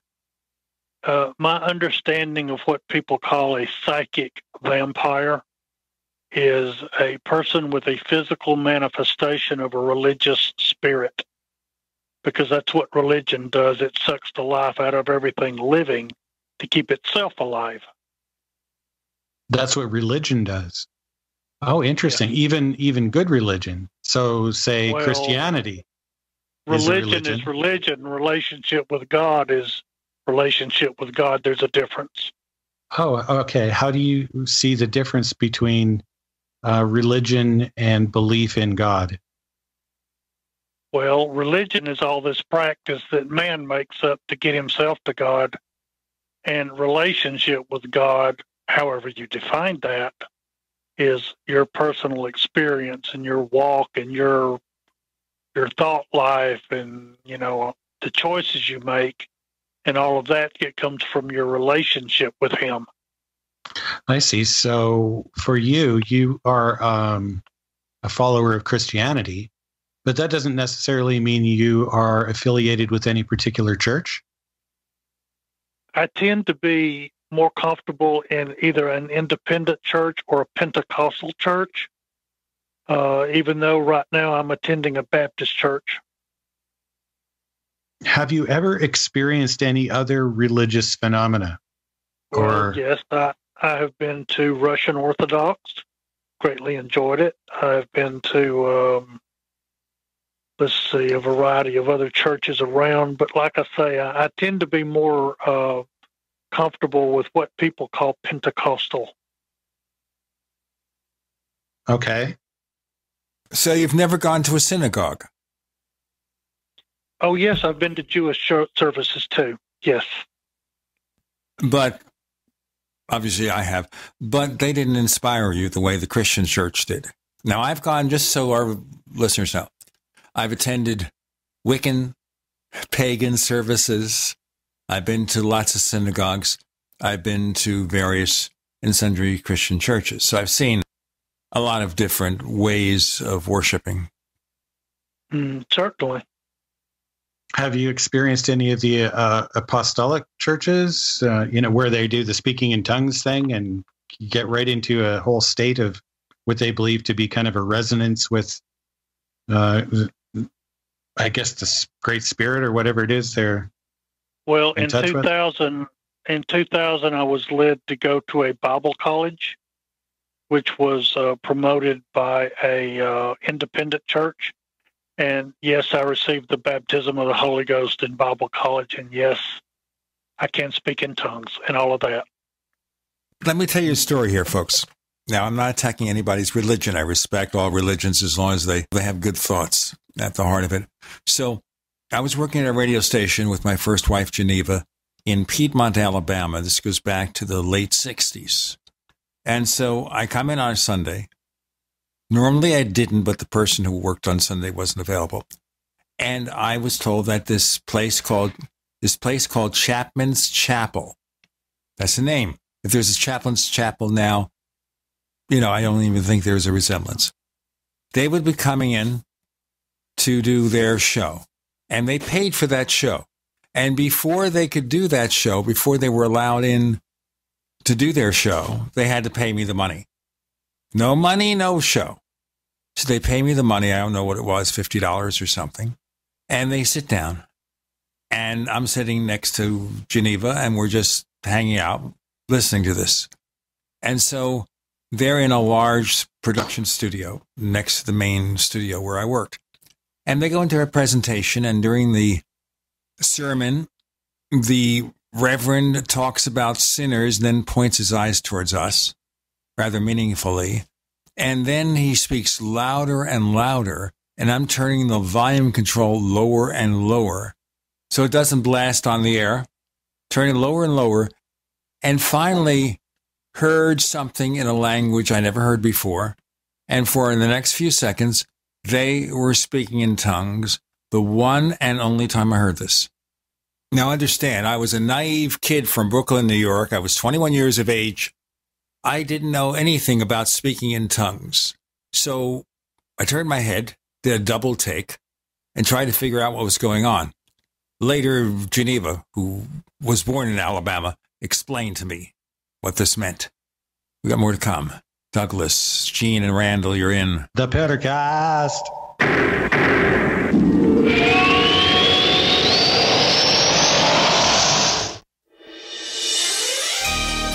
Thank you for listening to GCN. Be sure to visit GCNlive.com today. I'm David Hall, founder of Diamond Gusset, where we're proud of our 100% grown and sewn American made jeans. Whether you're out for dinner, working on the farm, or on the road, Diamond Gusset Jeans offers a full spectrum of styles and sizes for any occasion. To find yours, visit gusset.com. That's G U S S E T.com. Our loyal customers enable us to continue sponsoring Liberty media outlets like the one you're listening to. In Liberty, David Hall, Diamond Gusset Jean Company. If you like alkaline water or know someone that does, you're going to love the DYLN Living Water Bottle. It creates alkaline water on the go while reducing plastic waste and saving you money. Made with surgical grade stainless steel, the DYLN bottle increases the pH up to 9 to deliver both alkaline and antioxidant water anywhere you want it. Alkaline water is healthier, tastes better, and can even boost energy. The DYLN bottle makes it easy and affordable to be healthy and achieve optimal hydration. Get your DYLN bottle today at dyln.co. That's dyln.co.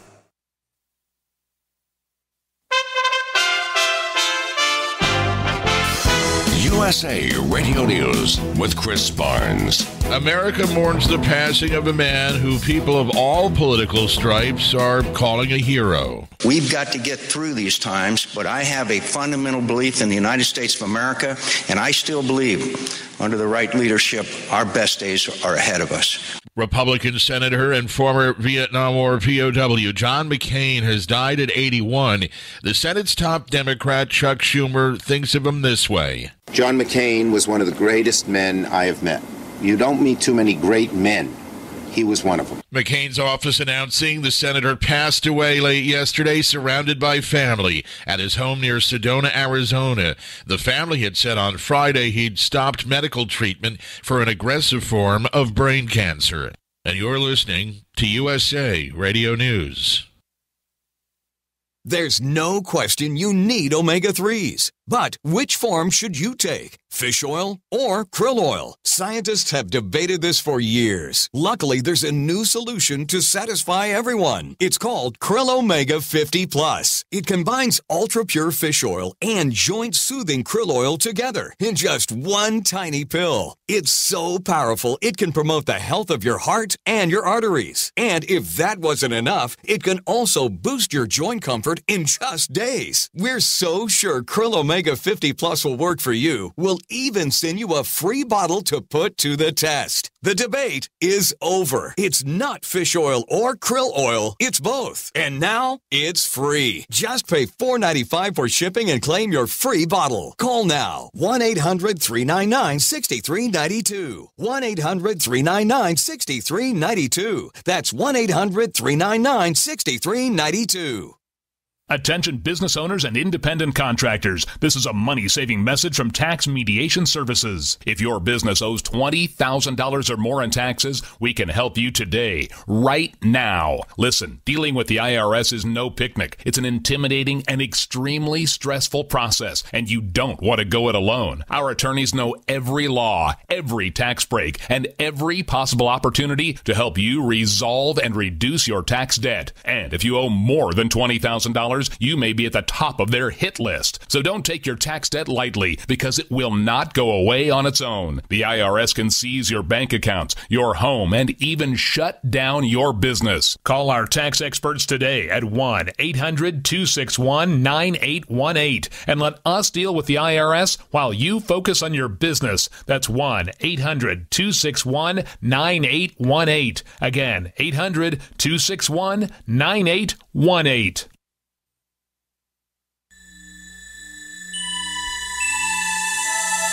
This is Jacques Vallée. You're listening to the Paracast, the gold standard of paranormal radio.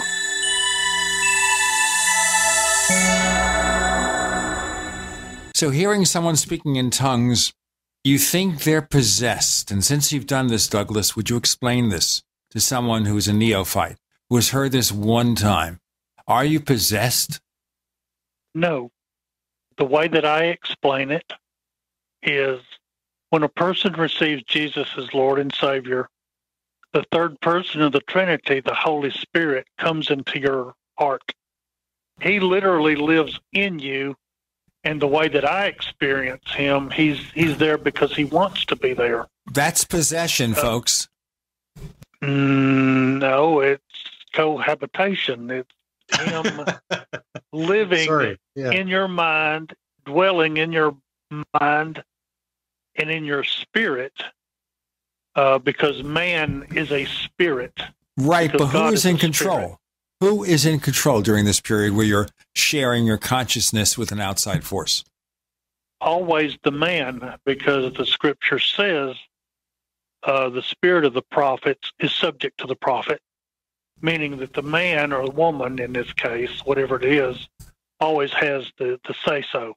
And so you're allowing yourself to share your consciousness with an outside force. Now, is this something where you invite them in with prayer or they just show up?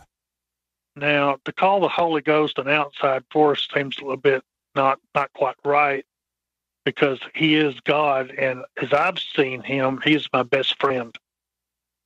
Right, but he's not you. you right? So, so I think all Gene means is there's you and you have your own personality and your own life as a singular entity.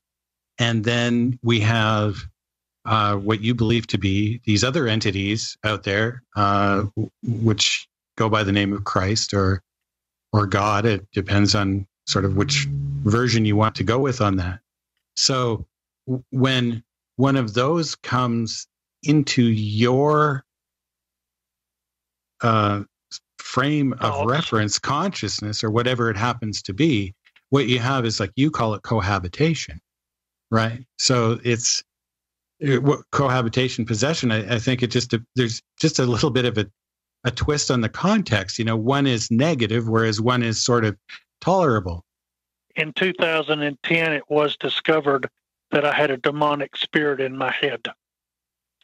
Now, you've probably seen the movies and so forth as to how to cast one of these out, but a friend of mine who understands his spiritual authority uh, simply uh, cast it out, and it wasn't the big deal that you may have seen in the movies because that's not how it works. Okay, you didn't levitate. Your head wasn't spinning no. around and around. No. Okay, that's certainly refreshing. yes. Gone, uh, I knew when it was gone because my thoughts cleared up tremendously and the other people around me that saw me over the next few weeks said that I seemed quote lighter, or I guess you would say not as dark, uh, perchance. Okay, so you said you had the demon within you. Was this at a yes. time that you were doing a lot of your writing about vampires? Is it something that lasted for years or something that just happened? Well, I believe when I had started started having the bad dreams, when I was seven or eight years old. I think that was the demonic spirit back in that day manifesting. Uh, the point that I make, though, at this time, I had been at a Pentecostal church for about 11 years. So, whatever demonic spirit was in me, it must have been a real teeny one because nobody noticed. It. It took them 11 years to even notice it. How do you know it was even there then? Uh, I mean, wouldn't you I, notice it? it? It started manifesting uh, on like on a Wednesday night one night, and uh, my friend noticed it, and we had a talk. Now, as part of him casting it out, I did have to make a declaration that I did not want it in my life. I did not want it. So I had I had to speak the words to say I you know in fact I don't really not clear what all I said, but I said I didn't want it in my life and I made How did he notice it?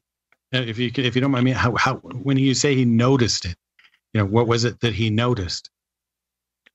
When I was talking I was I had asked permission at this point to go on a trip to South Carolina to see a certain graveyard and sadly enough, along this storyline, it you know the storyline is the demonic spirit would have driven it was not the storyline I wanted to write, and so it was pulling me and manifesting about that time when I was talking to him about going on a trip to research the story. How is That's it? What manif- I was thinking. How is it manifesting to him? Uh, so he that he could see, see it. it. How, what, he could what, just see it. What did it look like? It, I don't know. Uh, how do you know it but existed? Like I say, uh, Like if like he- I say, a spiritually sensitive person can pick up on things, and he was aware that it was in me, and I was aware that it was there by that time, uh, because my my speech and my thoughts were not what I would normally say and think, and so uh, it it was a very uh, uncomfortable feeling, really. Now, just to point But out here, there are psychological conditions, such as multiple personality disorder, that might result in this kind of behavior, acting like another person. Did you ever seek psychiatric help, or was it entirely through the church? It was entirely through the church. But once he cast it out, my uh, well, I was in disrepute at that point anyway because of my stories that I wanted to write. They just didn't like it at all. Okay, once the devil was cast out, did you find any change with your creativity, your ability to write these novels? Well, I saw them again in much more vivid uh, uh, detail. And when I was writing Rites of Passage, the second story, it it just flowed. So you're saying it gave you a sense of clarity.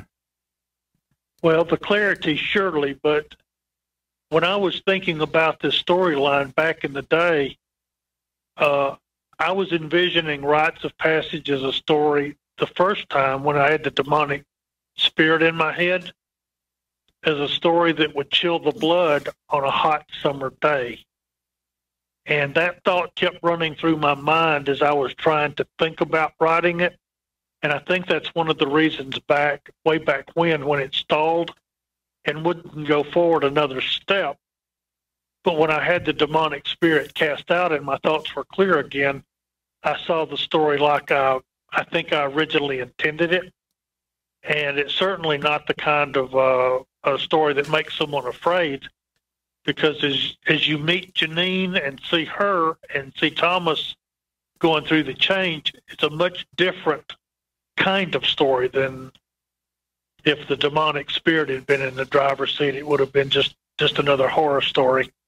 How much of yourself is in these stories? Like, is there? Uh, do you do you see yourself as um, sort of a, one of the characters in a in a way? So, do you speak through a particular character in the stories yourself? Well, so far as the characters are concerned, I think I'm all of them and none of them. You know, maybe a little piece of me is certainly in my consciousness and how they think has to come through my mind as I express it and write it. But I, I am none of the characters. Okay. This is entirely something that you invented, these characters. We'll go into more of this and get our insights into this very, very interesting or fascinating process of creating a series of novels and envisioning an entire subculture that is vampiric. Douglas, Randall, and Gene, you're in the Paracast.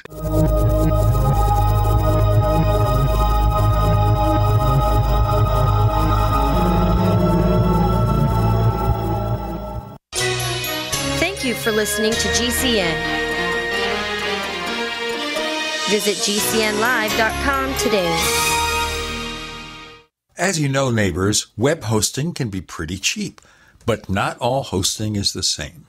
DreamHost wins Best of Awards year after year. You get unlimited disk space, unlimited bandwidth, and even the low cost plans put your sites on high performance SSDs. Want to know more about what DreamHost has to offer? Go to technightowl.com slash host. Once again, that's technightowl.com slash host. First came Attack of the Rockoids, and it was a critically acclaimed success. And now there's The Coming of the Protectors. A former military intelligence man is contacted by a space woman in a dream, a dream that turns out to be a nightmare because evil forces on our distant planet are planning to conquer the Earth. This is gripping science fiction of the classic kind. Attack of the Rockoids and The Coming of the Protectors. Find out more at rockoids.com. That's rockoids, R O C K O I D S.com. I'm David Hall, founder of Diamond Gusset, where we're proud of our 100% grown and sewn American made jeans. Whether you're out for dinner, working on the farm, or on the road, Diamond Gusset Jeans offers a full spectrum of styles and sizes for any occasion. To find yours, visit gusset.com. That's G U S S E T.com. Our loyal customers enable us to continue sponsoring Liberty media outlets like the one you're listening to. In Liberty, David Hall, Diamond Gusset Jean Company. Hunters, anglers, campers, and survivalists. Get back to nature. Expand your horizons with the highest quality, most versatile, unique slingshots and sling bows on the market at slingbow.com. Slingbow products are compact and models start from just $17.98. They're perfect for your bug out bag or storing in your vehicle. Give yourself and your loved ones the excitement and tradition of Slingbow, a new frontier in archery and truly modern twist on this primitive survival tool. Feel the thrill only at slingbow.com. Hi, I'm Kelly Cook, Chief Marketing Officer for Kmart and Sears. Every baby deserves the best possible start, but not all babies get one. March of Dimes is changing that. You can help us lead the fight for the health of all moms and babies. Join me and Kmart to March for Babies. Let's raise funds and be champions for families near and far. Together, we are building a brighter future. Sign up for Kmart's team today at marchforbabies.org.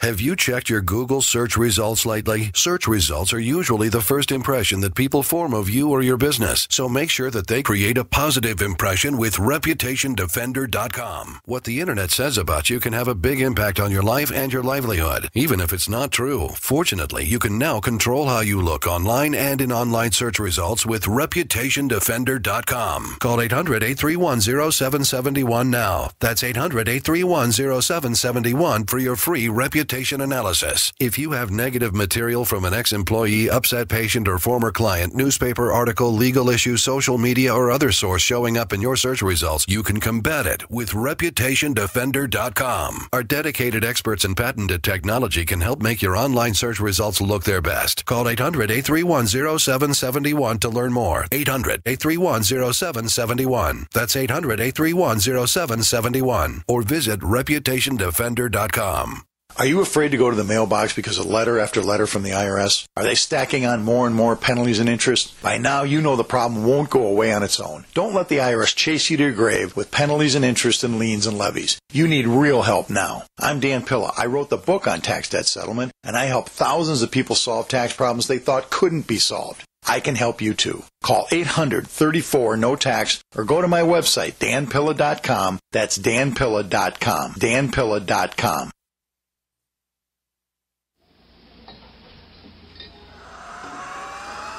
Hi, this is Joshua P. Warren, author of The Poor Man's Paranormal, and you're listening to the Paracast, the gold standard of paranormal radio.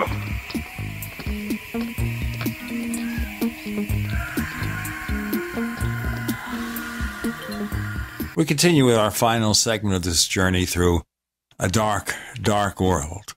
Douglas Robinson telling us about writing these silently books, working on the first two novels and later in the series. Have you had any interest or sought interest, Douglas, in having it on television? This seems to be something that ought to be ripe for a TV series, don't you think? I think it would play better as a movie. How so? The storyline is very specific, and the way that I've sort of mapped it out in my head, you take the contents of Silently and Rites, and that would be the first movie you take the contents of with deadly intent and overkill, and that would be the second movie. Yeah, but I think so you have thinking, to realize too that when you do a movie, you really have to cut out a lot of the exposition because you're talking about something that's two and two and a half hours, and packing two novels, full novels, into a single movie is exceedingly difficult. Of course, they did that with Harry Potter, but you also would find you know, where they had basically, was it one novel per movie or something like that? You might find yourself taking one novel and making it into two parts if it's a big novel. Because I did this when my son Grayson and I took our first Rockoids book.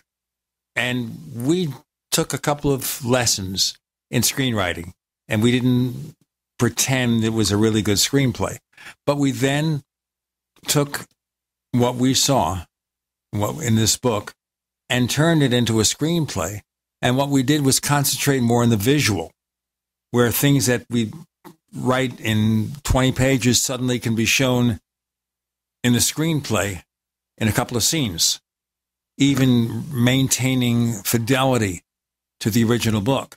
So combining two books into a single movie seems a little unrealistic, don't you think?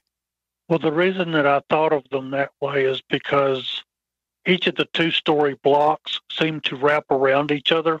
For instance, Thomas is exposed to Macon's blood in the first story, and he's going through the change in the second one, reliving what happened to him in the first one. So they sort of wind around each other.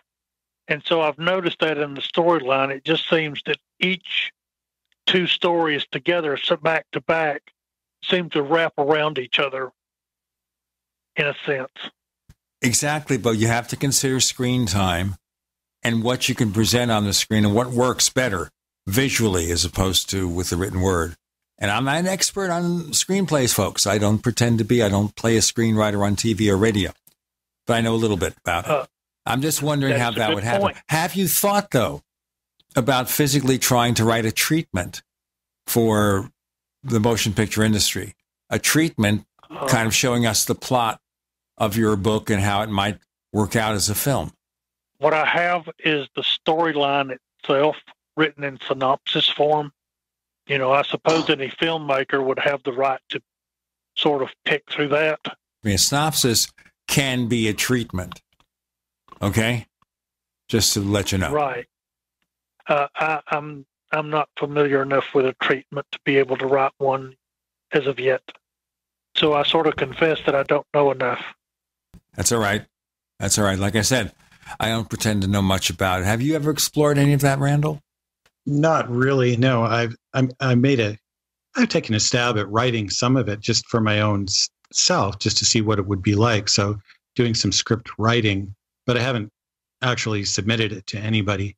But you know, actually, Gene, I think you make kind of a good point in terms of dividing it up into uh, more of a series because you know, going back to the beginning there with Barnabas Collins, he's a you know, fictional character in the ABC daytime serial Dark Shadows, right? And that aired from 1966 to 1971. So you might be able to take that approach. And then if it were to build interest from that, it's not uncommon for something like that to be then made into more of a feature film. So you could break down uh, your your books instead of combining two books into a single large movie. You could actually break down individual books into a number of episodes. So, and something to consider there. It wouldn't be as much work. You could do it as, you know, a chapter at a time. I think you could maybe get a good shot at it. Let me think about that. What you're saying is like make it like series fiction where you tune in this week to see the episode because the hero was left in a situ- cliffhanger last week and you got to come back this week to see if he survived. What would be really interesting about that too is because you've got this long story arc over several books that could actually last you out a number of seasons. And uh, people do very well with some of them.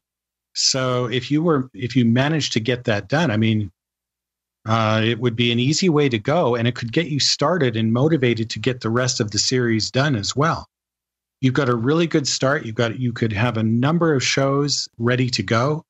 You can shop that around to people in the networks. Maybe Netflix would pick it up if you were lucky. Why not? I mean, it well, can't hurt. Inter- that's an interesting approach, and I had not considered it. So thank you for letting me know. Yeah, you're working with a publicist now. Uh, you were saying, was it Nicole? Yes. Yeah. So, uh, you know, talk to her about it. Uh, sounds like it could be something that she could help you with. Well, I will certainly ask. And indeed, I don't know what kind of fees and services you ordered, but she might be the ideal person with whom to discuss further promotion, depending on what kind of budget you can put together, how best to submit your work to the motion picture industry. And maybe, of course, you would need an agent who's a signatory to the Writers Guild. I learned this, by the way, that the agent who represented us on our novels, she's retired now. She was a member of the Writers Guild, and we went through all the normal channels and did it the normal way.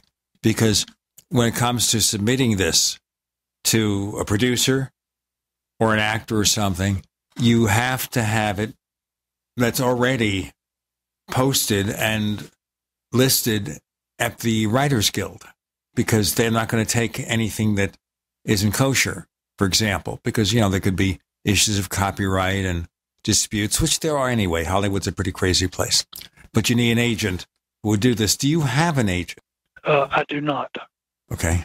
Maybe if something like that, if you want to navigate this into the big business, the world of motion pictures and everything, or TV, you'd probably want to try to seek out an agent, take your novels, the printed versions, submit them to agents. There are directories and see, you know, what kind of response you get. any case, I wish you best of luck with your series. And certainly, if anyone's listening who really is a vampire, if they want to get in touch with you, Douglas, how do they do it? They'll find me when they want to. They can do that. Ooh. Yeah, they, they, can do. I don't that. think we've ever heard that answer before. I mean, I've heard answers. You know, look for me in Facebook. Walter Bosley yeah. says, "Look for me in Facebook." Alan they Greenfield says, "Look for me on Facebook." Douglas says, "If they want me, they'll find me." They certainly can. They can do that. All right. When you read the second story, you'll understand more. I'll look forward to it. We've what an interesting day. You don't have to visualize us, maybe in your worst nightmare, but you can find us on Twitter if you look for the Paracast. There are two Paracast fan clubs on Facebook. We will never combine them. They may merge into one someday if there's a way to do it realistically. We have a second radio show for you to listen to called After the Paracast. After the Paracast can be a mixture of anything. You can never predict what we'll do. After the Paracast is only available if you subscribe to the Paracast Plus. We also give you something else that people on YouTube always talk about a version of the show free of the network ads, better quality audio. And you get this with a subscription to the Paracast Plus. And some of you, if you're a subscriber to the Paracast newsletter or a member of our forums, you'll be getting a special, special, special offer by about the time you listen to the show. For more information, go to plus.theparacast.com. That's plus.theparacast.com. Randall, where do we find your stuff? UFOpages.com. UFOpages.com. Douglas Robinson, it's been a fun discussion about your world. Thank you for joining us on the Paracast. Thank you for having me.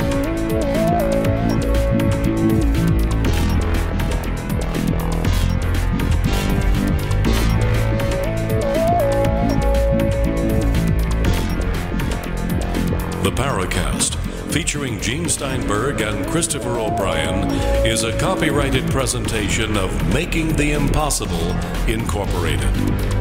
Tune in next week for a new adventure in the Paracast.